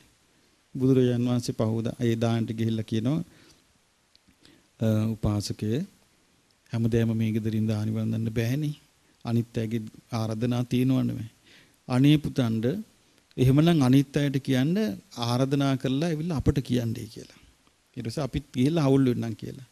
දැන් බුදුරජාණන් වහන්සේට දානෙට ඇරියුම් කළාම ඊට පස්සේ බුදුරජාණන් වහන්සේ කියනවා එහෙනම් ගිහිල්ලා අර උපාසක ගෙදරටත් ගිහින් කියන්න කියලා. එතකොට ඒ ගෙදරටත් යනවා. ගිහින් ඉතින් ඒ ගෙදර අය ඒ ආච්චිසියයි දානි හදාගෙන අර බුදුරජාණන් වහන්සේ වඩින ගෙදරට යනවා. ඊට පස්සේ මේ දෙන්න ප්‍රසිද්ධ වුණා බුද්ධ මාතා බුද්ධ පිතා කියලා. දැන් බුදුරජාණන් වහන්සේ ධර්ම දේශනා කරද්දී ඔන්න දෙන්න සෝවාන් වුණා. දැන් බුදුරජාණන් වහන්සේ මාස තුනේ ධර්ම දේශනා කර දෙන්න සකදාගාමි තුනා. මේ ධර්ම දේශනා කරගෙන දෙන්න අනාගාමි වුණා. ආය බුදුරජ මේ තුම්මා දෙන්න ධර්ම දේශනා කර දෙන්න රහත් ඵලයටපත් වුණා. දැන් පිරිනුවම් පාන රහත් වෙච්ච දවසේ පිරිනුවම් පානවා. දැන් පිරිනුවම් පාන ලෑස්ති වෙලා ඒ දෙන්න සූදානම් වෙනකොට බුදුරජාණන් වහන්සේ සංඝ පිරිසයි පිරිවරාගෙන ඒ දෙන්න පිටිපස්සෙන් ඒ දෙන්න ඉස්සර කරගෙන බුදුරජාණන් වහන්සේ පිටිපස්සෙන් යනවා. පිරිනුවම් පෑවා. ස්තූපයක් හැදුවා. භික්ෂුන් වහන්සේලා කිව්වා භාග්‍යවතුන් වහන්සේ භාග්‍යවතුන් වහන්සේගේ පියාණන් සුද්ධෝදන රජුරෝ කියලා දෙවි මිනිස් ලෝකේ කවුරුත් දන්නවා. භාග්‍යවතුන් වහන්සේගේ මෑණියන් මහා මායා බිසව කියලා දෙවි මිනිස් ලෝකේ කවුරුත් දන්නවා. මේ වයසට පලච්ච බමුණු ජෝඩුව කවුද මේ කියලා ඇහුවා. කිව්වා හා හා මහණෙනි එහෙම කියන්න එපා කිව්වා. ඔය දෙන්න ආත්ම භාව 500ක් මගේ අම්මා තාත්තා වෙලා හිටියා කිව්වා.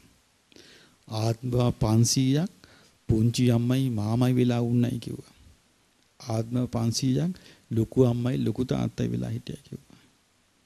මේ දෙන්න මාව ආත්ම භාව 3000ක් මේ මේ දෙන්න මාව වඩාගෙන හිටියා කිව්වා. කවුද දන්නේ වෙන්න මේවා? සසර ගැන. එතකොට බලන්න උන්වහන්සේගේ පුබ්බේ නිවාසානුස්සති ඥානෙ කොහොමද කියලා. පෙරවිසු කඳ පිළිවෙල දක්නා නුවණ ආත්මව ගානක් එතකොට වෙන දින්නෙකුත් ඉඳලා. දැන් ඒ දින ගැන කිසි ජාතක පොතක සඳහන් නැහැ. එතකොට ආත්මව දහස් ගානක් වෙන අම්මල තාත්තලා ඉඳලා. අනිත් කාර්ය පුදුමකේ නෙමෙයි දින ටික පාට මතක් වුණානේ. මතක් වුණා මේ පින නේද? ඇයි හින මෝරලා ඉන්දිය ධර්ම මෝරලා මෝරලා පිරිනුවම් පෑවා.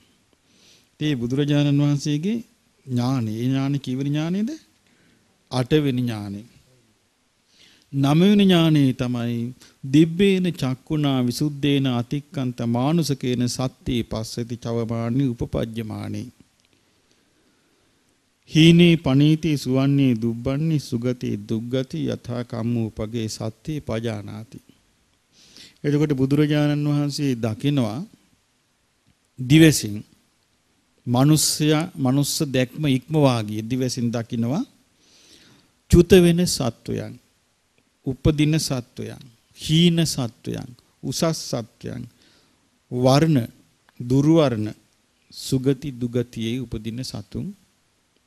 කර්මානුරූප යථා කම්මෝපගේ සත්තු. සත්‍යේ යම්සේ යථාගේ යම්සේ කර්මානුරූප උපදින සතුන්. එහෙනම් මේ සත්‍යයන් උපදින්නේ කොහොමයි? කර්මානුරූපව. එහෙනම් අපි මේ ඉපදිලා තියෙන්නේ පෙර ආත්මේ කරපු කර්මානුරූපවයි මේ ඉපදිලා ඉන්නේ. ඒක අර නිත්‍ය ප්‍රකරණේ බොහොම ලස්සනට විස්තර කරනවා හේතුවයි ප්‍රත්‍යය කියන දෙක මම නිත්‍ය ප්‍රකරණේ අලුත් පොතක් මම අර සිංහලට හැරුවනේ නෝනැතියන් ශ්‍රී සද්ධර්මයට පමුණවන අසිරිමත් පොත් වහන්සේ කියලා. ඒ පොත ඒ බදර තීර්ථ විහාරකින දකුණු ඉන්දියාවේ හාමුදුර කෙනෙක් තමයි ඒ පොතට අටුවාව ලියලා තියෙන්නේ. ඒ පොතේ තියෙන්නේ මහා කච්චායන මහරහතන් වහන්සේගේ දේශනා ක්‍රමේ. ඒකේ බොහොම ලස්සනට මේ හේතුවයි ප්‍රත්‍යය අතර විස්තර කරනවා.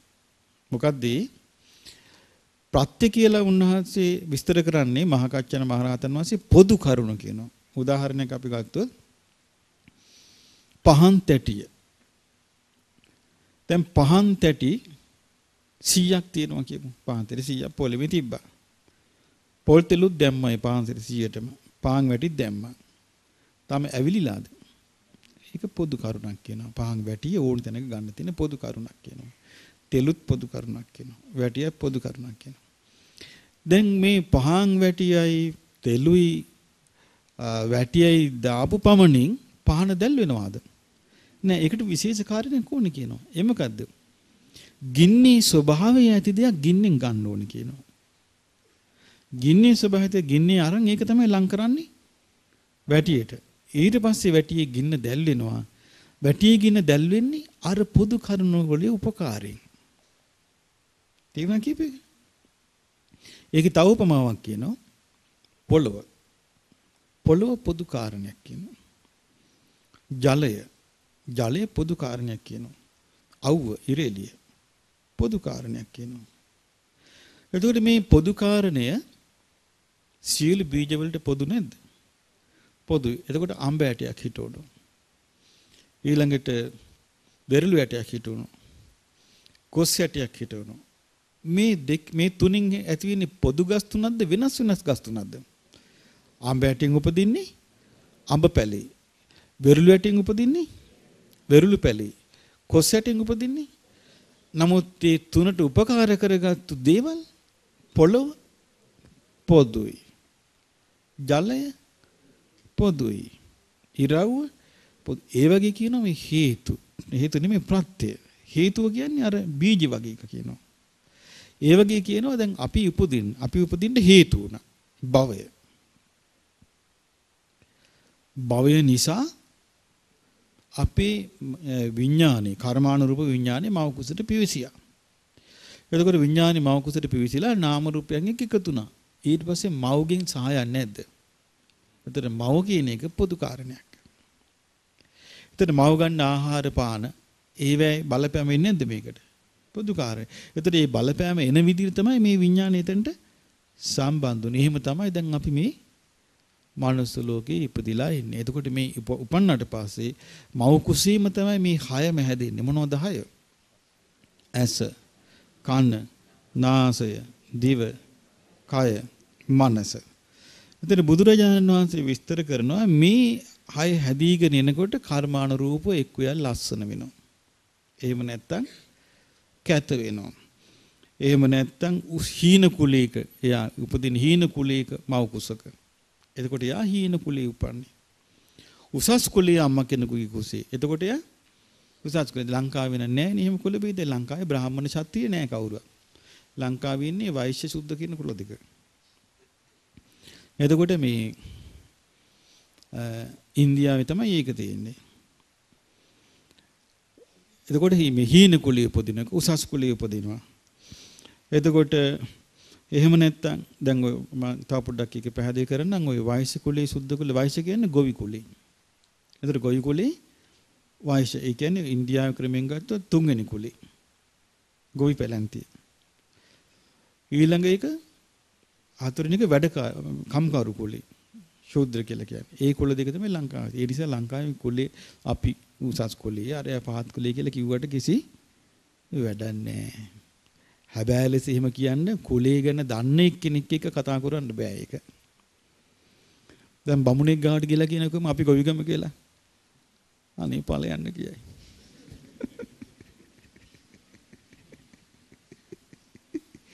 තමුණායි මව්පිය පරම්පරාවෙන් කොච්චර පිරිසිදුද උඹ කියලා හයි. මොකවන්නේ ඒ නිසා මේ ලංකාවේ කුල බෝධි කියන්නේ විහිළුවක්. ඒක අපි වාසනාවට උනේ. කුල බේද තිබ්බනම් විනාසයි. මේ යන්තම් මේ චීන සොච්චෙමෙත් මේ විඳවනවා. කුල බේද ඉන්දියාවේ තියෙන අම්මේ බලන්න ඕනේ අර සවැත් නුවර රජගහ නුවර ගිහිල්ලා බැලුවාම රජගහ නුවර මේ තියෙන අර සත්පර්ණී ගුහාව ළඟ තියෙන අර උණු වතුරලින් ඉස්සර මම ওই රජගහ නුවර ඉන්නකොට මං අපි යනවා පාන්දර මං ගිහලා අඳනය කරන් ගිහලා උණු වතුරලින් වලට ගිහලා අපිට ගිහලා නාගන්න පුළුවන්. මේ නාන්න දෙන්නේ මේ මේ වෙන අයට. කුලේ අඩු අයට නාන්න දෙන්නේ. එතකොට මේ ඒ නාන වතුර ටික නාලා ඔක වෙලා කාණුවෙන් ඇවිල්ලා ඒක අලු පාටට ගොරෝසු වතුරක් එන්නේ. කුණු ඔක්කොම අර හීන කුලේ මිනිස්සු ඔක්කොම ඒක නාන්නේ. ඒකෙන් හොදන්නේ මේක මගේ ඇස් දෙකට දැක්ක අම්මෝ මෙච්චර අසාධාරණයක්ද මේ ලෝකේ කියලා. ඒක පේන්න. ඔව්. ඉතින් ඒගොල්ලෝ ඒකට කියන්නේ ඒකයි මේ මිනිස්සුන්ට කර්ම විභාගය ගැන තවත් ඒ මිනිස්සු මේ මේ තරහ වුණේ. ඊන කොල්ලේ මිනිස්සුන්ට කියන උඹලා මේ කර්මානුරූප උපන්නේ විදෝපිය කියලා. ඉතින් ඒතකොට තවත් ඒ ඒගොල්ලෝ මේ ප්‍රශ්න ඇති කරගන්නවා. ඉතින් මං කිව්වේ එහෙම හරි දුකක් තියෙනවා. දැන් ඉතින් පොඩ්ඩක් විනාශ දැන් ඉතින් සල්ලි තියෙන මිනිස්සෙකුට කෝච්චි ටිකට් එකක් අරගෙන හොඳ සීට් එකක යන්න පුළුවන්. ප්ලේන් එකේ ටිකට් එකක් අරන් හොඳ නීච කුලියක වුණත් කෙනෙකුට ඕනනම් ඔය මොකද්ද මේ මේ බිස්නස් ක්ලාස් එකේ හොඳ ලොකු සීට් එකක් අරගෙන යන්න පුළුවන්. දැන් ඉතින් පොඩ්ඩක් වෙනස්. ඉස්සර එහෙම නෑ. ඉස්සර එහෙම නෑ. ඒ නිසා මේ ඒ උපදින්නේ ගොඩක් කර්මානුරූප. ඒ කර්මානුරූප තමයි නිරී උපදින්නේ. කර්මානුරූප ප්‍රේත. දැන් බලන්න අර ප්‍රේතලගේ අර ඌරු කට තියෙන පෙරේතයාගේ විස්තරي කර්මානුරූපෝනේ පෙරේතය උපන්නේ. ඒ කර්මානුරූපව උපදින්නේ. මේ ප්‍රේතයෝ. දැන් සමහරු මේ ආත්මේ වහ කාලා මැරිනා ඉන්නෝනේ. ඒ පෙරේතයල උපන්නට පස්සෙත් අර දෙවිල්ලින්ම ඉන්නේ අවුරුදු ගාණක්. සමහරු බෙල්ලි වල දාගෙන මැරිලා ඉන්නවනේ පෙරේතය වල උපන්නට පස්සෙත් බෙල්ලි ලනුව තියෙනවා. සමහරු කෝච්චියට පැනලා පුදින පෙරේතය වුණාට පස්සෙත් ඇඟ දෙවිල්ලි හූකේ කියනවා. ඒ මොකද හේතුව? ඒ Tamanට උමුණා නැති කර්මයක් Taman රැස් කරගත්තා. සාමාන්‍යයෙන් මනුස්ස ජීවිතය අපි ඉපදලා තියෙන්නේ විදවණ්ඩයි. බුද්ධ දේශනා තියෙන්නේ කොහොමද මේ ජීවිතය ගැන? පුරාණ මිදම් භික්කවේ කම්මං මහණෙනි මෙය පුරාණ කර්මයකි අபிසංකතං විශේෂයෙන් සකස් කළ දෙයකි අபிසං චේතිතං චේතනාවෙන් සකස් කළ විශේෂ කොට සකස් කළ දෙයකි වේදනීයන් දට්ටබ්බං විඳවා විඳවා දත යුත්තේය එතකොට විඳවනකට කෙනෙක් ඒ කර්ම විපාකේ එයා උපේක්ෂාවෙන් යුක්ත මෛත්‍රී සිතින් වින්දොත් ඉක්මන්ට ගෙවිලා යනවා. අකුසල විපාකයක් නම් ඉක්මන්ට ගෙවිලා යනවා ඒක. ඒක ගෙවෙනවා. අහෝසි වෙන්නේ සාමාන්‍ය අහෝසි කර්ම කියලා කියන්නේ උන සෝතාපන්න වෙච්ච කෙනෙකුට සතර අපාය අහෝසි කර්මයක්. සකදාගාමි වෙච්ච කෙනෙකුටත් මේ සතර මේ සතර අපාය අහෝසි කර්මයක් දෙවි මිනිස් ලෝකේ තියෙනවා. අනාගාමි වෙච්ච කෙනෙකුට කාම ලෝකේ අහෝසි කර්මයක්. රාතන් වහන්සේට ත්‍රිවිධ භවයේම අහෝසි. ඉතින් එහෙමයි ඔක බලන්න තියෙන්නේ. එතකොට බුදුරජාණන් වහන්සේ දේශනා කරන උන්වහන්සේ දකින මේ ලෝක සත්වයා මේ නිරේ ඉපදිලා ඉන්නවා. නිරේ විඳවනවා. උන්වහන්සේ දේශනා කළා මේ නිරේ තියෙන විස්තරය වචනෙන් කියන්න වචනෙන් කියන්න බෑ කියනවා. නිරේ තියෙන විස්තරය. එතකොට තිරිසන් අපායේ තියෙන විස්තරෙත් වචනෙන් කියන්න බෑ කියනවා. එච්චරම තිරිසන් අපායේ දුකක් විඳිනවා කියනවා. പ്രേත ලෝකෙත් එහෙමයි. ඉතින් මනුස්ස ලෝකේ ඒකේ විශාල දුකක් මිනිස්සයා විඳිනවානේ. දැන් මනුස්ස ලෝකේ සම්මත සුගතියක් හැටියටනේ. නමුත් මේ සුගතිය උනත් මිනිස්සු දුකක් විඳිනවද නැද්ද? මේ විඳින දුක කෙරේ කලකිරීම තමයි මන බුද්ධිමත් මිනිසයා කරගත යුත්තේ. ආයේ නැවත නැවත මේක උපදින්න ආශා කිරීම නෙවෙයි. මේ විඳින ලෝකයේ කෙරේ කලකිරීමයි. එතකොට මේ බුදුරජාණන් වහන්සේගේ නවවෙනි ඥානය තමයි මේ චුතූපපාත ඥානේ සත්‍යයන් චුත වෙන ආකාරයත් උපදින ආකාරයත් දැකීමේ ඥානය චුතූපපාත ඥානය. එතකොට මේ බුදුරජාණන් වහන්සේගේ ඥානය ඒකයි දැන් බුදුරජාණන් වහන්සේ ගාවට ආනන්ද හාමුදුරුව එක්තරා අවස්ථාවක ගිහිල්ලා අහනෝනේ භාග්‍යතුන් වහන්සේ මේ අසවල් අසවල් මැරිලා කොයිද උපන්නේ කියලා. උන්වහන්සේ වෙලම කියනවා මේ අසවල අසවල් තැන උපන්නා කියලා. අසවල අසවල් තැන උපන්නා කියලා. ඊළඟ 10 වෙනි ඥානේ තමයි උන්වහන්සේ කෙලෙස් නැහැ. ආශ්‍රයයන් ෂේ වූ බව දන්නා නුවණ. ආශ්‍රයයන් අවබෝධ කළා ආශ්‍රයයන් ෂේ වූ බව දන්නා නුවණ. ආශ්‍රවස්රව ආශ්‍රව ක්ෂය කරන්නේ ප්‍රඥාවෙන්. මොකෙන්ද කරන්නේ? ප්‍රඥාවෙන්. බුදුරජාණන් දේශනා කළ තියෙන එකට ප්‍රඥා ආයුධය කියලා. යෝදේත මාරම් පඤ්ඤා උදේන ජිතංච රක්කේ අනිවේසනෝසිය. ඔය තියෙන මේ ධම්මපදි ගාථා. ඒ වගේ ප්‍රඥායුධය උන්වහන්සේ දේශනා කළේ ප්‍රඥාව මොකක් වගේද?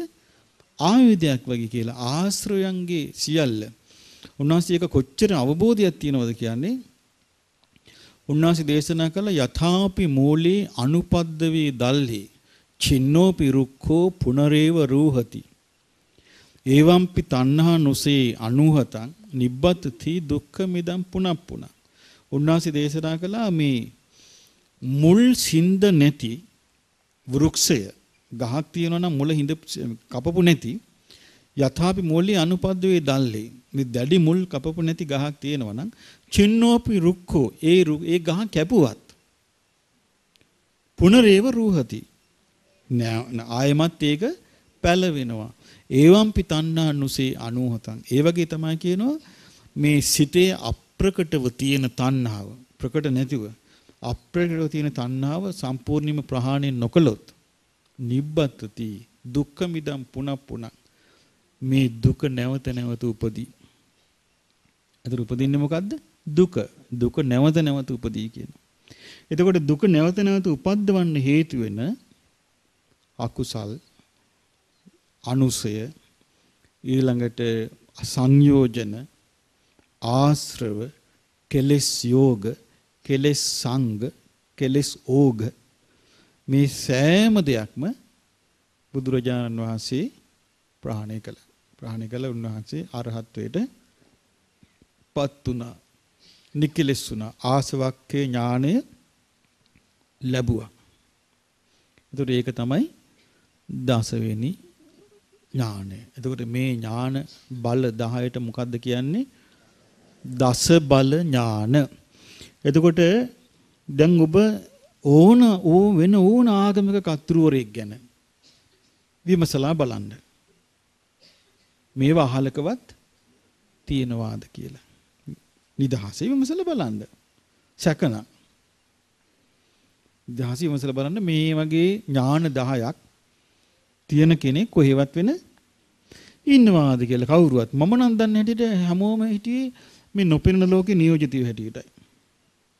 අනිත් කියපු සියලු ආගම් වල කාණ්ඩේ නොපෙනෙන ලෝකේ නියෝජිතයෝ මිසක් පේන ලෝකේ ප්‍රඥාවන්ත ඥානයක් උපදවාගත්තු සිංහනාද කරපු අය නෙවෙයි.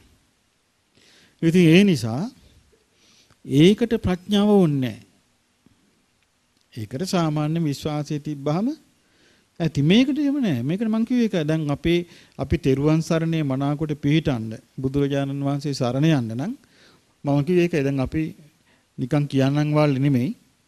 අපි විමසා බලන්න ඕනේ අපි මේ සරණ යෑම හරිද? අපි තෝරගත්තු අපි සරණ යන්න තෝරගත්තු කෙනා හරිද? එයා කවුද? අපිට සරණක් වෙන්න යාට පුළුවන්ද කියලා හොයලා බලද්දී තමයි අපිට තේරෙන්නේ මොකද්ද වාසනාවකට නොෑ අපි මේ බුදුරජාණන් වහන්සේව සාරණ ගිහින් තියන්නේ කියලා අන්න එතකොට Tamanට හිතට සිත සතුටක් ඇති වෙනවා ප්‍රීතියක් ඇති වෙනවා සන්තෝෂයක් ඇති වෙනවා අනේ මට විශාල පිහිටක් ලැබුණා කියලා සිතේ ප්‍රීතිය හට ගන්නවා. එහෙම තමයි සරණ ඇති කරගන්නේ. ඒ විදිහට සරණ දියුණු කරගෙන එතකොට අපි හවස්සරුවේ කියා දෙන්නම් ඔබට බුදුරජාන් වහන්සේගේ විශාරද ඥාන හතර ඒවැන් ඊට පස්සේ උන්වහන්සේගේ ගුණ ආශ්‍රයෙන් ඊළඟට ධර්මයේ සරණ යන්නේ කොහොමද ශ්‍රාවක සංඝයා සරණ යන්නේ කොහොමද කියලා දැනගත්තට පස්සේ අපට අවබෝධයෙන්ම සරණ යන්න පුළුවන්. හැබැයි සරණ ගියාට ඒ සරණත් එක්ක අපි දුර්වලකම් කලවම් කරගන්න එපා. තේරෙනවද කියන එක? අපේ තීරණ දැන් අපි කිව්වොත් දැන් ධර්මයේ ගැන හොඳට නිශ්චයකට එන්න හැකියාව නැත්තම් තේරුමක් නැත්තම් එක එක්කෙනා කියනට හුවමිටි තියාගෙන යන්න එපා. සම ආ ඔහොම කළා හරියන්නේ නැහැ. ඔయిత වඩා මේ කෙටි කරම තියෙනවා. එහෙම කියන ඉන්නවනේ. ඒකට හුවමිටි තියාගෙන යන්න එපා. කලබල වෙන්න ඕනේ නැහැ. හොඳට ඉවසගෙන හොඳට බුද්ධිමත්ව නැත්තම් අපිට එන්නේ අසවලා කිව්වේය. අසවලා කිව්වේ කියලා තමන්ගේ සරණ අනුන් පිට තමයි දාන්න වෙන්නේ. අනුන් පිට දාලා කවදාවත් තමන්ගේ සරණ පිහිටන්නේ නැහැ. ණයට ගන්න බෑ සරණ. ඒක තමන්ම තමන් විසින් ඇති කර ගන්න ඕනේ. එහෙම සරණ පිහිට ගන්න අපට වාසනාව ලැබේවා. සාදු සාදු සාදු